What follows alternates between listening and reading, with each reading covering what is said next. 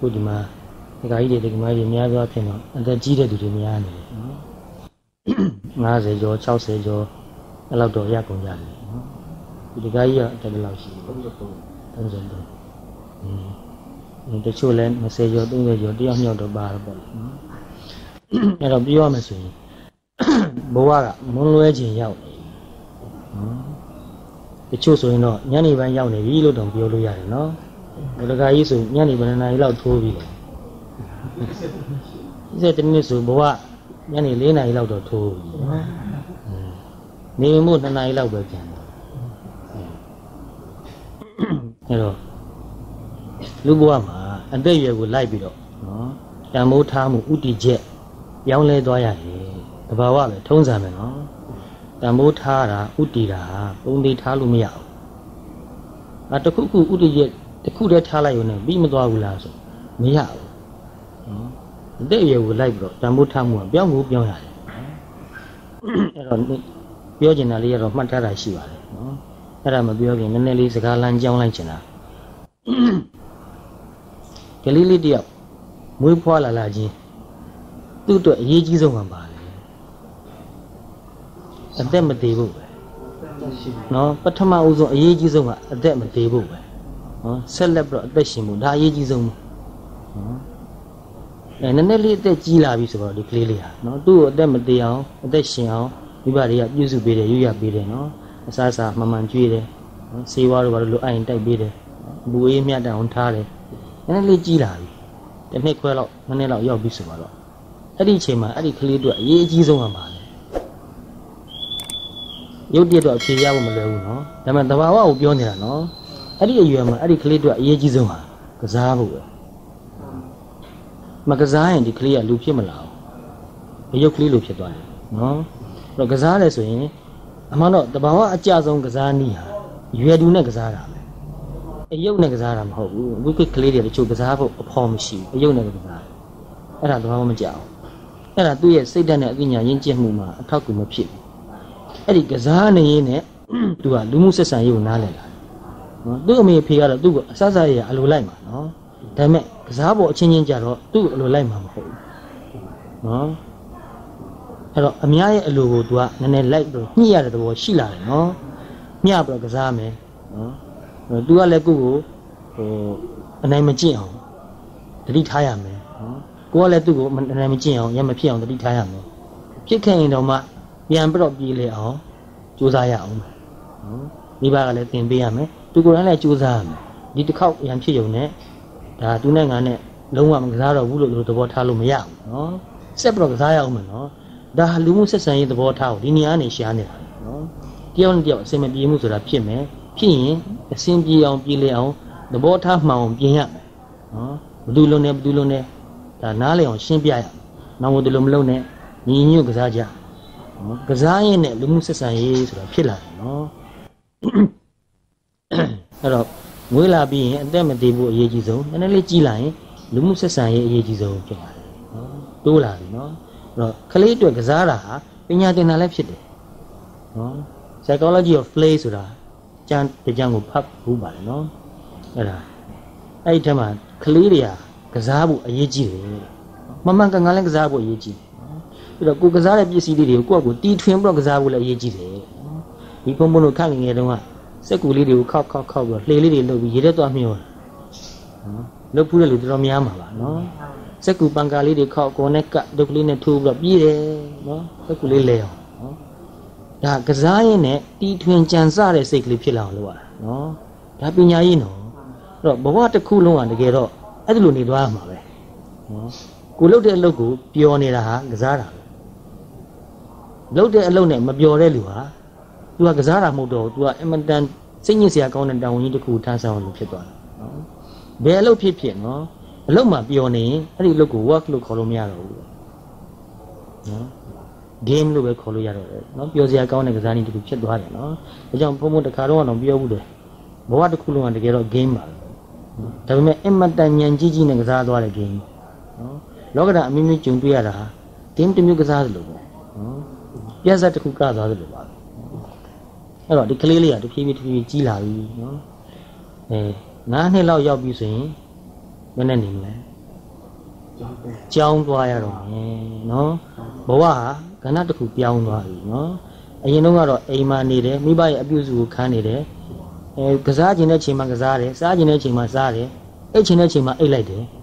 ကြောင်းသွားပြီဆိုတော့ဘာဖြစ်လာပြီလဲကစားခြင်းတဲ့ချိန်ကစားလို့မရတော့ဘူးနော်အိတ်ခြင်းတဲ့ချိန်အိတ်လို့မရတော့ဘူး စားခြင်းတဲ့ချိန်စားလို့မရတော့ဘူးနော်ကစားခြင်းသတ်မှတ်ရတယ်အိတ်ချိန်သတ်မှတ်ထားရတယ်စားခြင်းလည်းသတ်မှတ်ထားရတယ်နော်ပြီးတော့ဒီတင်တဲ့စာကိုအာယုံစိုက်နားထောင်ပြီးတော့တာဝန်ကြည့်အောင်လေ့လာရတယ်မှတ်သားရတယ်ကြည့်ရတယ်လိုက်ဆိုရတယ်ပထမတော့တချင်းဆိုရင်းနဲ့သင်သွားတာပေါ့နော်အဲ့တော့ဒါဟာဘာလဲဆိုတော့ discipline ကိုသင်ရပြီနော်ဘဝဆိုတာကိုလှုပ်ချင်တာကြီးပဲလှုပ်လို့မရဘူးနော်ရှင်းရေးကိုမျှော်ပြီးတော့ကြိုတင်ပြီးလှုပ်တဲ့နာကိုလှုပ်သွားတာပဲနော်အဲ့ တော့ဒီကလေးကဒီမူလတန်းကျောင်းသွားနေတာဒီမူလတန်းစာကဒီလောက်နဲ့လုံလောက်တာမဟုတ်ဘူးနော်နှစ်ပေါင်းများစွာသင်ပြီးမှပညာတတ်တယောက်ဖြစ်လာတဲ့အခါမှာအလောက်ကန်တစ်ခုကိုထိထိရောက်လုပ်နေတယ်ဆရာဝန်တယောက်ဖြစ်ဖို့ဆိုတာနှစ်ပေါင်းများစွာသင်ရတယ်အင်ဂျင်နီယာတယောက်ဖြစ်ဖို့နှစ်ပေါင်းများစွာသင်ရတယ်နော်ထို့တူပဲဘယ်ပညာရဖြစ်ဖြစ်တစ်ခုခုကိုတတ်ဖို့ဆိုတာနှစ်ပေါင်းများစွာကြိုးပြီးတော့ယဉ်နီးမှုရှိရတယ်နော်အချိန်နဲ့ယဉ်နီးရတယ်အင်အားနဲ့ယဉ်နီးရတယ်အသိဉာဏ်နဲ့ယဉ်နီးရတယ်အချိန်မရှိရင်လည်းမရဘူး အားမရှိဘူးကြမ်းမကြီးမကောင်းရင်လည်းမရဘူးအသိဉာဏ်မရှိရင်လည်းမရဘူးနော်အဲ့တော့ဘဝနဲ့ယဉ်နီးပြီးတော့ဒီပညာတွေရှားရတာနော်အဲ့တော့ discipline ဆိုတာဘာလဲဆိုတော့နောင်ကောင်းမှုအရေးကိုအခုအခါမှာကိုယ့်ကိုယ်ကိုထိမ့်သိမ်းပြီးတော့လှုပ်တင်တာကိုလှုပ်သွားတာ discipline လို့ပဲခေါ်တယ်နော်ရိုးရိုးလေးအဓိပ္ပာယ်ကောက်လိုက်တာနော်အဲ့တော့ discipline ဆိုတဲ့စီကံရှိဖို့ဆိုတာနောင်အနာဂတ်ကိုမျှော်ပြီးတော့ကောင်းမှုအရေးအတွက်ကြိုတင်ပြင်ဆင်ရတာအခုအချိန်မှာဒါကိုပြန်မှန်းခံရမှာပဲနော်အဲ့တော့ အခုအချိန်မှာဒါကိုပြန်မှန်းမခံချင်ဘူးဆိုရင်ဘာဖြစ်မလဲနောင်ခါပူပင်မလိမ့်မယ်နော်အဲ့တော့တာသမီးကိုချစ်ရင်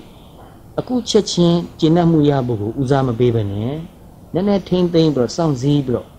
နော်လုပ်တင်တာလေးကိုလုပ်သွားရမယ်တဖြည်းဖြည်းနောက်မှကျင့်တတ်မှုရလာမယ်နော်အစဉ်ပြေမှုဆိုတာရလာလိမ့်မယ်ဒါအောင်နားလည်အောင်သင်ပေးရတယ်တာသမီးအလိုလိုက်တာ discipline နဲ့ရှိအောင်ထားတာရှိရမရောက်ဘူးနော် အဲ့တော့အဲ့ဒီကလေးက9နှစ်ကနေကြောင်းနေပြီဆိုတော့နော်တဖြည်းဖြည်းတဖြည်းဖြည်းအသက်ကြီးလာပြီကြီးလာလို့14နှစ်15နှစ်ရွယ်ရောက်ပြီဆိုတော့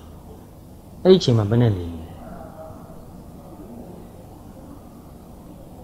အဲ့ဒီအချိန်မှာယူယူပေါက်အပြူပေါက်ကလေးဖြစ်လာပြီနော်ဘဝမှာအင်မတန်အရေးကြီးတဲ့အချိန်တစ်ခုဖြစ်လာတယ်နော်ခန္ဓာကိုယ်မှာဓာတ်သဘာဝတွေကပြောင်းလဲသွားကုန်ပြီဒီဓာတ်သဘာဝတွေရဲ့ပြောင်းလဲမှုကြောင့်စိတ်လှုပ်ရှားမှုအကြီးအကျယ်ဖြစ်တာ ဖြစ်လာတယ်နော်စိတ်မှာအင်တန်ပြင်းထန်တဲ့ခံစားမှုတွေဖြစ်လာတယ်နော်ကိုယ်စိတ်ကိုကိုယ်နားမလည်နိုင်လောက်အောင်လည်းပဲဖြစ်တတ်တယ်နော်အဲ့တော့အဲ့ဒီအချိန်မှာဟိုမိန်းကလေးဆိုရင်တော့အထူးသဖြင့်ရှက်တာကြောက်တတ်လာတယ်အရင်တုန်းကမိန်းကလေးယောက်ျားလေးတွေကဟိုဘာမှရှက်တယ်လို့လည်းမတွေးတော့ဘူးနော်မတွေးဘဲနဲ့အတူတူကစားလာရကနေအဲ့ဒီရောက်လာပြီဆိုရင်သူ့ကိုကိုကရှက်တယ်လို့ကိုကိုသူကရှက်တယ်လို့ဟိုအဲ့လိုတွေဖြစ်လာပြီနော်စိတ်အပြောင်းလဲတွေဖြစ်လာခန္ဓာကိုယ်အပြောင်းလဲဖြစ်တယ်လို့စိတ်မှာအပြောင်းလဲဖြစ်လာတယ်နော် တော့ခန်းစားချက်တွေလည်းအင်တန်ပြင်းတယ်ပြီးတော့အဲ့ဒီအချိန်မှာနည်းနည်းမိဘကိုအာခံခြင်းနဲ့စိတ်တွေဖြစ်လာတယ်ဒါသဘာဝပဲနော်သူတို့မိုက်တာလို့ပြောလို့မရဘူးနော်သဘာဝလမ်းကြောင်းပဲတကယ်ဟိုးရှိခေတ်ကအချိန်တွေပြန်ကြည့်မယ်ဆိုရင်အဲ့ဒီအချိန်မှာသူ့ဟာသူအုပ်ခွဲအိမ်ခွဲပြီးတော့သွားရတော့မယ်အချိန်ပဲတကယ်တော့နော်အဲဒီရွယ်မှာဟိုသူတို့အကယ်၍ဇာနာရှိတယ်ဆိုရင်တာသမီမွေးလို့ရတဲ့အရွယ်ဖြစ်နေပြီနော် biologically mature ဖြစ်သွားပြီနော်ဒါပေမဲ့ psychologically mature မဖြစ်သေးဘူးခန္ဓာကိုယ်ကလူကြီးဖြစ်ပြီစိတ်ကကလေးစိတ်ပဲရှိသေးတယ်နော်အဲ့ဒါဟာအင်မတန်ခါခက်တဲ့အချိန်ပဲအင်မတန်နားလည်ဖို့ရခက်တဲ့အချိန်ပဲနော်သူ့ကိုယ်သူလည်းနားမလည်နိုင်ဘူးအဲ့တော့မိဘကနားလည်လို့တေချာပြပြပြပြဆွေးနွေးပေးမယ်ဆိုရင်တော့သူ့ကိုယ်သူပိုနားလည်လာပြီးတော့သူထိမ့်သိမ့်နိုင်တယ်နော်လို့မဟုတ်ရင်မိဘနဲ့အကြည့်ကျပြိပက္ခဖြစ်တဲ့အရွယ်ကလား သူ့ကိုခလေးလိုသဘောထားရင်သူမကြိုက်တော့ဘူးဒါပေမဲ့ तू လူကြီးလားဆိုတော့လူကြီးလည်းမဟုတ်ဘူးဘယ်လိုဆက်ဆံမလဲဘယ်လိုသဘောထားမလဲအရန်ကြီးချုပ်ချင်ရင်လည်းသူတို့မခံဘူးနော်အဲ့ဒီအချိန်မှာ rebellious ဖြစ်လာပြီနော်လွတ်လပ်မှုကိုလိုချင်လာတယ်ငါစိတ်နဲ့ငါကိုဖြစ်ချင်တယ်အရင်တော့ကတော့အမေဖေကဒီအင်ကြီးဝတ်ဆိုဝတ်မှာပဲအဲ့ဒီရကျရင်ဒီအင်ကြီးဝတ်ဆိုအာဒီအင်ကြီးကမဝတ်ချင်ဘူးဖြစ်လာပြီနော်အဲဒီချိန်ဒီလမ်းကိုမသွားနဲ့ဆိုသွားမယ်နော်အဲ့လိုဖြစ်လာပြီနော် သူစိတ်နဲ့သူ့ကိုဖြစ်ချင်လာတယ်အဲ့တော့မိဘတွေကတော့အရင်တုန်းကအတိုင်းပဲထားခြင်းတယ်နော်သွားဆိုသွားလာဆိုလာဝတ်ဆိုဝတ်စားဆိုစားအဲ့လိုမှကြိုက်တာဘူးနော်ငယ်တည်းကဒီလိုနေလာတာနော်ဒါပေမဲ့ဒီအချိန်ရောက်လာပြီဆိုရင်ငါစိတ်နဲ့ငါကိုယ်ဆိုတာလေးကိုသူပြခြင်းတယ် I am ဆိုတာလေးသူပြခြင်းတယ်ငါလည်းလူတစ်ယောက်နော်ငါအကြိုက်ငါအတွေးခေါ်ငါသဘောထားရှိတယ်အဲ့တော့ငါအကြိုက်ငါနဲ့ငါနေမယ်ငါသဘောထားနဲ့ငါနေမယ်ငါအတွေးခေါ်နဲ့ငါနေမယ်နော် အဲ့ဒါဟာအမှန်တော့တဘာဝလည်းကြပါတယ်နော်အဲ့တော့ဒီလိုတဘာဝကြတဲ့ပြောင်းလဲမှုတစ်ခုကိုအတင်းကြပိတ်ပင်တားဆီးဖို့မသင့်ဘူးနည်းနည်းလေးထိန်းပြီးပြီးတော့တကယ်စဉ်းစားတတ်လာအောင်တကယ်ဆုံးဖြတ်တတ်လာအောင်လမ်းကြောင်းပေးရမယ်ရှိရေးကိုတကယ်အမျှော်မြင်ရှိလာအောင်တဖြည်းဖြည်းတဖြည်းသင်ပေးရမယ်မလို့ဆိုတော့ဒီနေ့သူ့ခြေတော့ပေါ်သူရက်တည်ရမှာပါသူ့ဘဝကိုသူနေသွားရမှာပါနော်မိဘတွေကတေကွဲကွဲခြင်းလဲကွဲမယ်ရှင်ကွဲကွဲခြင်းလဲကွဲမယ်မပြောနိုင်နော်အဲ့တော့ သူ့ခြေတော့ပေါ်သူရက်တည်နိုင်မှုအရေးကိုဒီအချိန်ကစပြီးတော့ပြင်ရတာပဲအဲ့ဒါကိုနားလည်ဖို့လိုတာနော်အဲ့လိုနဲ့အဲ့ဒီအချိန်မှာဆိုရင်တော့9တန်း10တန်း9တန်းရောက်နေကြပြီနော်အဲ့လိုနဲ့10တန်းအောင်ပြီဆိုတော့တက်ကူရောက်ပြီဘဝတခါတက္ကဏပြောင်းသွားပြန်လာတယ်နော်10တန်းတုန်းကအခြေအနေနဲ့တက္ကသိုလ်အခြေအနေနဲ့မတူဘူး။ဘာဝင်ကျင်လည်းမတူတော့ဘူးနော်။အင်မတန်ပြောင်းလဲသွားတာ။အဲ့ဒီအချိန်မှာတချို့ဆိုရင်လည်းမိဘတွေကရောက်ဝေးမှနေကြတယ်။တသမီတွေက ဒီလိုတက္ကသိုလ်တွေဘာတွေရှိတဲ့မြို့ကြီးတွေမှာလာပြီးတော့ကျောင်းတက်ရတယ်။မိဘနဲ့ဝေးပြီ။ဘသူတို့ကိုထင်းထင်းအုပ်ချုပ်မလဲ။အဲ့ဒီအချိန်မှာငကိုတွေကကိုယ့်ကိုယ်ကိုထင်းထင်းတတ်တဲ့အလေးကျင့်ကိုမိဘကတင်မပေးလိုက်လို့ရှိရင်ဘယ်နဲ့လုပ်လဲ။အခက်အခဲအများကြီးတွေ့နေတယ်နော်။အေးအဲ့တော့သားသမီးတွေကိုငယ်လေးတွေကသူတို့ခြေထောက်ပေါ်သူတို့ရက်တည်နေအောင်သူတို့ကသူတို့စဉ်းစားတတ်အောင်ဆုံးဖြတ်တတ်အောင်ဘယ်လိုအပေါင်းအသင်းနဲ့ပေါင်းဖို့သင့်တယ်မပေါင်းသင့်ဘူးဆိုတာလည်းရွေးတတ်အောင်ဘယ်အချိန်ဘယ်အခါဘယ်နေရာမှာ ဘယ်လိုသွားသင့်တယ်ဆိုတာနော်အန္တရာယ်မရှိအောင်ဂုဏ်သိက္ခာမထိခိုက်အောင်စဉ်းစားတတ်အောင်သင်ပေးရမယ်နော်ကြမ်းမာရေးမထိခိုက်အောင်အဆက်ဆက်ရစဉ်းစားတတ်အောင်ကကြိုတင်ပြီးတော့သင်ပေးရတယ်အဲ့တော့မိဘရဲ့ဝတ္တရားကဘာလဲဆိုတော့သားသမီးကိုကြားလေသူအားသူကိုယ်နိုင်နေဖြစ်သွားအောင်သင်ပေးရမယ်ဒါမိဘဝတ္တရားပဲနော်အဲအဲ့လိုနဲ့တက္ကသိုလ်ရောက်သွားပြီနော်သူတို့ပေါင်းခြင်းနဲ့လူသူတို့ပေါင်းတော့မှာပဲမိဘမသိပါဘူးနော်ဒီလိုနဲ့ ကြိုးစားပြီးတော့ပညာသင်သွားပြီတက္ကသိုလ်ကဘွဲရပြီနော်အဲ့တော့ဒီမှာရှိတဲ့တရားကြီးတွေငမာကြီးတွေဆိုတော်တော်များများဒီခီးလမ်းကြောင်းကိုဖြတ်ခဲ့ရတဲ့လူကြီးပါပဲနော်အဲ့တော့တက္ကသိုလ်ကဘွဲရပြီဆိုတော့ဟိုဒီလောကတက္ကသိုလ်ဆောင်ဝဲတွေဖြေနေကြတော့သူတို့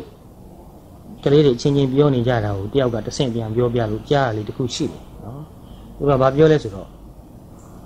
ဘွဲရပြီဆိုရင်တဲ့ငါတို့ကကြောင်းသူကြောင်းသားမဟုတ်တော့ဘူးနော် လူကြီးဖြစ်ရတော့မယ်ဘွဲမရသေးသေးရတော့ကလေးလိုနေခွင့်ရနေသေးတယ်နော်မိဘကအစစရပေးမှာပဲနော်ဘွဲရပြီဆိုရင်တော့တချို့မိဘကတော့ဆက်ပြီးတော့ပေးဦးမှာပါနော်ပေးနိုင်သေးတယ်ဆိုပေးဦးမှာပဲသို့တော့တချို့ကြတော့လည်းပဲမိဘအဲ့လောက်မချမ်းသာဘူးနော်အင်မတန်ချစ်ချစ်ကုတ်ကုတ်သားသမီးပညာသင်ပေးလိုက်ရတာဈေးစကားလည်းခုခေတ်ကအင်မတန်ကြီးတာဟုတ်နော်အဲ့တော့သူတို့ကိုယ်တိုင်ကလည်းမိဘကိုတနာတယ်မိဘတွေအသက်ကြီးကုန်ပြီတချို့ဆိုရင်သူတို့ကဒါအသက်20ကျော်သူတို့မိဘတွေက60ကျော်80တွေဖြစ်ကုန်ပြီ နော်အဲ့တော့မိဘကိုတစ်ဆက်ပြန်ပြုစုဖို့လုပ်ကြွေးဖို့သူတို့စဉ်းစားတယ်နော်အဲ့ထက်မှာကလေးတယောက်ကဘယ်လိုပြောလဲဆိုတော့ကလေးဆိုတာတော့မဟုတ်ပါဘူးမနော်20ကျော်တာဆိုတော့ကလေးတော့မဟုတ်တော့လူကြီးဖြစ်နေပါပြီပြောဘယ်လိုပြောလဲဆိုတော့ဘွဲရပြီးရင်တဲ့ငါတို့လူကြီးလိုနေရတော့မယ်ငါလူကြီးမဖြစ်ချင်သေးဘူးနော်လူကြီးဖြစ်မှကြောက်တယ်နော်တာဝန်ယူရမှကြောက်တယ်ယူရလေ့ချင်းမရှိဘူးနော်ကိုယ့်ဟာကိုယ်အလုပ်တစ်ခု ရှာရမယ်ကိုယ့်ဟာကိုယ်နေရာတစ်ခုရှာပြီးနေရမယ်ကိုယ်ခြေထောက်ဘက်ကိုရက်တည်နေရမယ်ဒီကြားထဲကမိဘကိုပါထောက်ပံ့မှုဆိုတော့ခုခေတ်မှာတော်တော်ကိုမလွယ်ပါဘူးနော်ငယ်အဲ့လိုနဲ့နော်ကြိုးစားပြီးတော့အလုပ်တွေပါတွေရှာပြီးအလုပ်လုပ်ပြီးနော်အတင်းအတင်းစာဝန်ကြီးတို့လည်းပြည်လဲပြီးဆိုပါတော့နော်အဲ့ဒီချိန်မှာပဲအင်တော်ရေးကိုစဉ်းစားရအောင်မယ်တဘာဝတရားနော်အင်တော်မပြုတ်ပဲနေလို့လည်းမဖြစ်ဘူးနော်အင်တော်ရေးကိုစဉ်းစားရတော့မယ်တဘာဝရဲ့တောင်းဆိုချက်နော် အဲ့တော့အင်တော်ဘက်တွေရွေးမယ်ရှာမယ်အင်တော်ပြုတ်ကြမယ်ဉာဏ်ရှိရှိနဲ့သေချာရွေးတိုင်တော့ရေရှိမှအစဉ်ပြေဖို့ပါပဲနော်ဉာဏ်မပါဘဲနဲ့ခဏအပေါ်ယံလေးသိကျွမ်းပြီးတော့အာရမှုတော့ကိုကြည့်ပြီးတော့နော်ဘယ်လိုကူကူဆုံးဖြတ်လိုက်မယ်ဆိုရင်တယောက်တဘောထားကိုတယောက်နားမလဲပဲနဲ့နော်ဘယ်လိုကူဆုံးဖြတ်မယ်ဆိုရင်ရေရှည်မှာအများကြီးဒုက္ခရောက်သွားနိုင်တယ်နော်ဒါလည်းပဲမိဘရဲ့အကူအညီလည်းအများကြီးလိုပါတယ်ဒီလိုနဲ့အိမ်အောင်ကြသွားပြီဆိုတော့နော် သားသမီးတွေမွေးလာတော့နော်သားသမီးငယ်လေးတွေကိုတခါပြုစုရဆောင်းရှောက်ရနော်နဲတဲ့တာဝန်တွေမဟုတ်ဘူးနော်ဒီလိုနဲ့နေလာခဲ့ပြီနော်နေလာခဲ့လို့အခုဒကာကြီးတို့50ကျော်လောက်ရှိပြီထင်တယ်နော်40ကျော်49 49အင်းဟုတ်ပြီတခါကြီးက50အင်းဟုတ်ပြီနော်အဲ့တော့ဘဝကမွန်းတဲ့ခြင်းရောက်သွားပြီနော်တက်တန်းတရားထက်လှုပ်ထားအောင်တော့နော် တဝက်ကျိုးသွားပြီဒါနှစ်ပေါင်း100နေရမယ်လို့သိကြသလားသိကြဘူးနော်တကယ်ပြောမယ်ဆိုရင်တော့လေ35နှစ်မှတဝက်ကျိုးသွားပြီ80ဆိုတာဒါမြက်မြက်တက်တက်မျောလင့်မယ်ဆို80ပဲမျောလင့်လို့ရတယ်နော်အင်မတန်ကုသကံကောင်းလို့80နော်ဒကာကြီးတွေလိုနေရတယ်ဆိုဒါအင်မတန်ကုသကံကောင်းလို့ပဲနော်80 90ဆိုတာအင်မတန်ရှားပါတယ်နော်အဲ့တော့ ငငယ်တုန်းကဘာဝတံမလို့ထားပြီးတော့နေခဲ့တယ်လေပြန်စဉ်းစားကြည့်နော်ငငယ်တုန်းကအဲတော်တော်လေးအရွယ်ရောက်တဲ့အချိန်မှာပဲဆိုပါတော့နော်ဘွဲရဖို့အလုပ်လုပ်ဖို့ပတ်ဆိုင်ရှာဖို့အင်တော်ပြုဖို့တာသမီမွေးဖို့နော်ဂုံရှိရှိအစင်တမ်းမြင့်မြင့်နေနိုင်မှုနော်ပစ္စည်းတွေဘာတွေအမျိုးမျိုးပုံပုံကိုကောင်းကောင်းမွန်မွန်သုံးနိုင်ဆွဲနိုင်မှုဒါလည်းပါတယ်နော်အေးအဲ့လိုနေလာရကနေအခုဒီရွယ်ရောက်တော့ဆက်ပြီးတော့ဘာကိုဥတီချက်ထားမလဲနော် အဲ့ဒါစဉ်းစားစရာတချို့ကိုပြောပြကြတာနော်ဒါလေးတွေမှတ်သားထားတာ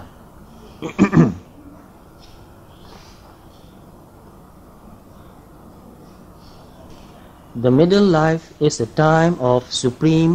psychological importance နော် middle life ဆိုတာဘဝရဲ့မွန်းတဲ့ချိန်ကိုပြောတာနော်အဲ40ပတ်ဝန်းကျင်လို့ပဲအကျဉ်းအပြည့်ဆိုကြပါစို့နော်အဲ့ဒီချိန်ဟာနော်ဘဝရဲ့အလယ်ဖြစ်တဲ့အချိန်ဟာတဲ့နော် supreme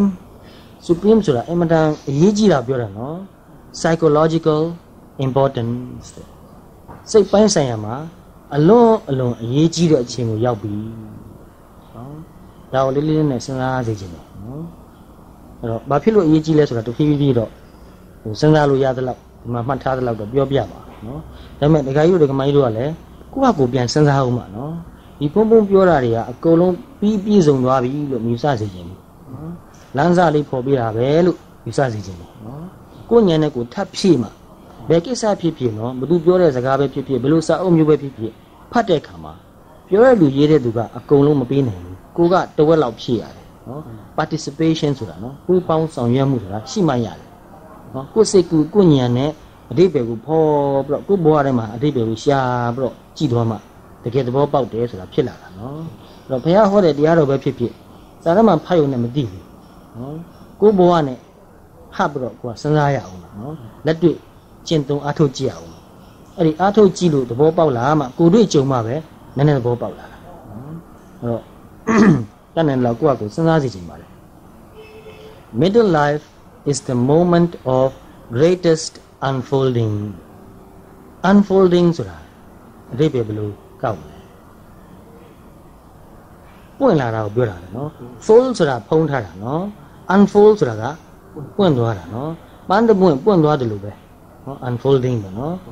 အဲ့တော့အမှတ်တမဲ့ကြည့်မယ်ဆိုရင်နော်လူတော်တော်များများဟာ20ကျော်30အရွယ်ကိုဟိုအားရဆုံးပဲလို့ထင်ကြမှာနော်အာအဲ့ဒီအရွယ်ကအကောင်းဆုံးချိန်ပဲနော်ဘဝမှာကျင့်တတ်စရာအကောင်းဆုံးချိန်ပဲလို့ထင်မယ်နော်ဒါပေမဲ့ဘာမှဘဝအတွေ့အကြုံတကယ်မရှိသေးဘူးနော်အသိဉာဏ်တကယ်မရင့်ကျက်သေးဘူးပျော်တတ်တာပဲရှိတယ်နော်လေးလေးနဲ့အသိဉာဏ်မရှိသေးဘူးနော် အဲ40ရောက်လာပြီဆိုရင်တော့ဘဝအတွေ့အကြုံတော်တော်လေးရလာပြီနော်ဒုက္ခတွေလည်းအမျိုးမျိုးကြုံမှုပြီးသွားပြီဒုက္ခအမျိုးမျိုးလည်းပဲဆိုတော့နော်အထက်လျောက်တော့ကြုံမှုပြီးသွားပါပြီနော်အဲ့တော့ကိုငငယ်တုန်းကမျောမှန်းခဲ့တာတွေစိတ်ကူးရင်ခဲ့တာတွေဖြစ်လိမ့်မယ်ထင်ပြီးတော့လုပ်ခဲ့တာတွေအဲဘယ်လောက်ထိဖြစ်ပြီလဲကိုစိတ်ကူးရင်တလို့ဘောတကယ်ပျော်သွားသလားပြန်စဉ်းစားလို့ရတယ်နော်အဲ့တော့အရင်တုန်းကဆိုတော့ ငါတော့ဘွဲရပြီးတော့အလုပ်တစ်ခုရပြီးတော့ငါအမြဲတမ်းချစ်တဲ့သူနဲ့အိမ်တော်ပြုတ်လိုက်ရရင်တော့အာငါဘွားကတော့အင်မတန်ကျဉ်းတတ်ဆရာဖြစ်သွားတော့မှာပဲနော်အဲအလောက်ကန်ဒီအစဉ်ပြေပြီးတော့ပတ်စံတွေအများကြီးရလို့ရှိရင်တော့အင်မတန်ပျော်စရာကောင်းပါပဲဘလို့တွေးကျင်တွေးမယ်နော်အခုတချို့မိတ်ဆွေလေးတွေတပည့်လေးတွေရှိတယ်ချို့လည်းကျောင်းနေပဲဒီပါပဲအင်ဂျင်နီယာတွေတက်တူရွယ်တူတိတ်မကွာလှဘူးအဲအရင်တုန်းကတချို့တော့နိုင်ငံခြားသွားလို့လုပ်တယ်အခုဗမာပြည်ပြန်လာတယ်နော် တချို့ဗမာပြည်မှာပဲအရင်တုန်းကအစိုးရအမှုတန်းလုပ်တယ်အခုထွက်လိုက်ပြီးတော့ကိုယ့်အကိုကိုယ်ပိုင်လုပ်ငန်းလေးတစ်ခုထောင်တယ်အင်မတန်အဆင်ပြေတယ်ကြီးပွားတယ်နော်ပတ်စံတွေအများကြီးရတယ်နော်အဲ့တော့ပြီးခဲ့တဲ့တပတ်လောက်ကဆိုတော့အဲ့ဒီတပည့်လေးနှစ်ယောက်ရောက်လာတယ်နော်သူတို့စီးပွားရေးကအင်မတန်အဆင်ပြေတယ်ပတ်စံဆိုတာပြောတော့မပြောရဲဘူးနော်ဘယ်လောက်ချမ်းသာလဲဆိုတာနော်ဒါပေမဲ့ဒကမကြီးကပြောတယ်အဲ့ဒါလောက်ကြီးရှားနေရတာဘာအဓိပ္ပာယ်ရှိလဲ ဘာဖြစ်လို့လဲဆိုတော့မနေ့6နာရီကလေးကအလုတ်အကြောင်းစဉ်းစားရတာအေးဟာနိုးကလေးကဆိုပါနော်ည10နာရီ17နာရီတခါလေး12နာရီအထိစဉ်းစားနေရတယ်အိမ်မှာသားသမီးနဲ့စကားပြောဖို့အချိန်မရှိဘူးနော်သားသမီးနဲ့ယူရပြောပြောရွှင်ရွှင်နေဖို့ရအချိန်မရှိဘူးမိုးလင်းရမို့ချုပ်လို့လို့ရတယ်တော့အလုပ်လုပ်တာမကောင်းဘူးလို့မဆိုလိုဘူးနော်ဘဝမှာ balance ဆိုတာရှိမှာနော်တစ်ဖက်စောင်းနေဖြစ်မသွားဘူးအရေးကြီးတယ်ဆိုတာကိုသဘောပေါက်စေချင်တာနော်တော့ သူတို့ကအခုသူတို့ဘဝသူတို့ပြန်သုံးတတ်တယ်အရင်ကတော့ချမ်းသာခြင်းတို့တော်တော်ကြိုးစားခဲ့ပြီနော်အခုတော်တော်ချမ်းသာပြီနော်ပျော်ရွှင်မှုမရှိဘူးတဲ့အိမ်တော်ကြီးမှာတော့မှအတိတ်ပဲမရှိဘူးလို့ဖြစ်နေပြီကြောက်ကိုပြောကျင်ကျင်နာနာယူရပြောချင်မရဘူးဒီကြားထဲကမရမကအချိန်လူပြီးတော့သူတို့တရားထိုင်လို့တနေ့မှတစ်ချိန်လောက်တော့တရားထိုင်ပြပါတယ်တော်ပါသေးရဲ့လို့ဆိုရမှာနော်အဲ့တော့ one begins to think to take account of the manner in which life has developed up to this point အဲ့တော့အခုနပြောတဲ့တပည့်လေးတွေနော်အခုအသက်40ကျော်ရောက်လာပြီနော်အဲ့ဒီအချိန်မှာသူတို့ဘဝကိုသူတို့နောက်ကျောင်းကနေပြန်သုံးသပ်တာနော်အရင်တုန်းကဟိုးမြို့ငယ်လေးကနေရန်ကုန်ရောက်လာပြီးတော့သူတို့ပညာသင်တယ်နော်အင်ဂျင်နီယာဘွဲရတယ်အင်ဂျင်နီယာအလုပ်တွေလုပ်တယ်ဟိုနောက်တစ်ယောက်ကလည်းဒီလိုပဲဘွဲရပြီးတော့သူအဆင်ပြေတဲ့အလုပ်တစ်ခုကိုလုပ်လာတယ်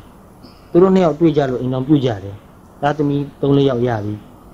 ပစ္စည်းဥစ္စာတွေလည်းရပြီဘဝကိုပြန်သုံးသပ်ကြည့်တယ်တကယ်ကျင့်တတ်သွားပြီလားတကယ်ပြောပြီလားမပြောဘူးနော်သူတို့မှာကားအများကြီးရှိတယ်သူတို့ဘယ်နှစီးလဲဆိုတာပုံပုံတော့မမှတ်မိလောက်ဆယ်စီးတောင်မကအောင်နော်အလုတ်သမားတွေရာနဲ့ချီပဲရှိတယ်နော်အိမ်မှာဝိုင်းကူမဲ့လူ9ယောက်ရှိတယ်နော်အားလုံးပြည့်စုံတယ်နော်ဒါပေမဲ့ပြောသလားဆိုတော့မပြောဘူး နော်အဲ့တော့အဲ့ဒီအရွယ်မှာဘဝကိုပြန်ပြီးတော့သုံးသပ်တယ်နော် take account of ဆိုတာနော်ပြန်ပြီးတော့စီစစ်တယ်ပြန်စဉ်းစားတယ်ပြန်သုံးသပ်တယ် thus real motivations are sought and real discoveries made အဲ့ဒီချိန်မှာငါဘာလုပ်ခဲ့လဲဘာကြောင့်လုပ်ခဲ့လဲဆိုတာကိုပြန်ပြီးတော့ရှာတော့တာနော်ဥပမာတယောက်တယောက်အင်တော်ပြုတ်ခဲ့တယ်ဆိုရင်တော့မှငါသူ့ကိုဘာလို့ယူခဲ့တာလဲ ရုပ်ရည်ကိုချစ်လို့လားဂုံကိုမဲ့လို့လားနော်အစင်တန်းကိုကြည့်ပြီးတော့ယူတာလားစာဝတ်နေရေးပါထည့်စဉ်းစားရတာတော့အတင်းတင်းတော့ပါကြတာပဲနော်အဲ့တော့ဘာကြောင့်ဖြစ်ဖြစ်နော်ဒါကိုပြန်စဉ်းစားတယ်နော်အလုပ်တစ်ခုလုပ်ရင်လည်းဒီလိုပဲငါဒီအလုပ်ကိုဘာဖြစ်လို့လုပ်တာလဲအကျို့ဆိုရင်ငကိုတော့သင်ခဲ့တဲ့ပညာကတခြားအခုလုပ်နေတဲ့အလုပ်ကတခြားဖြစ်သွား and real discoveries made ဆိုတာလိုပဲကိုယ်စိတ်ကိုကိုပြန်ကြည့်ပြီးတော့နော်ကိုယ့်ဘဝမှာကြုံတွေ့တာတွေကိုပြန်ကြည့်ပြီးတော့ အရင်တော့ကမသိတာတွေအခုချိန်မှသိလာတယ်နော်အရင်တော့ကလွဲခဲ့တာမှားခဲ့တာတွေလည်းပဲမြင်လာပြီနော် the transition from morning to afternoon is a revaluation of earlier values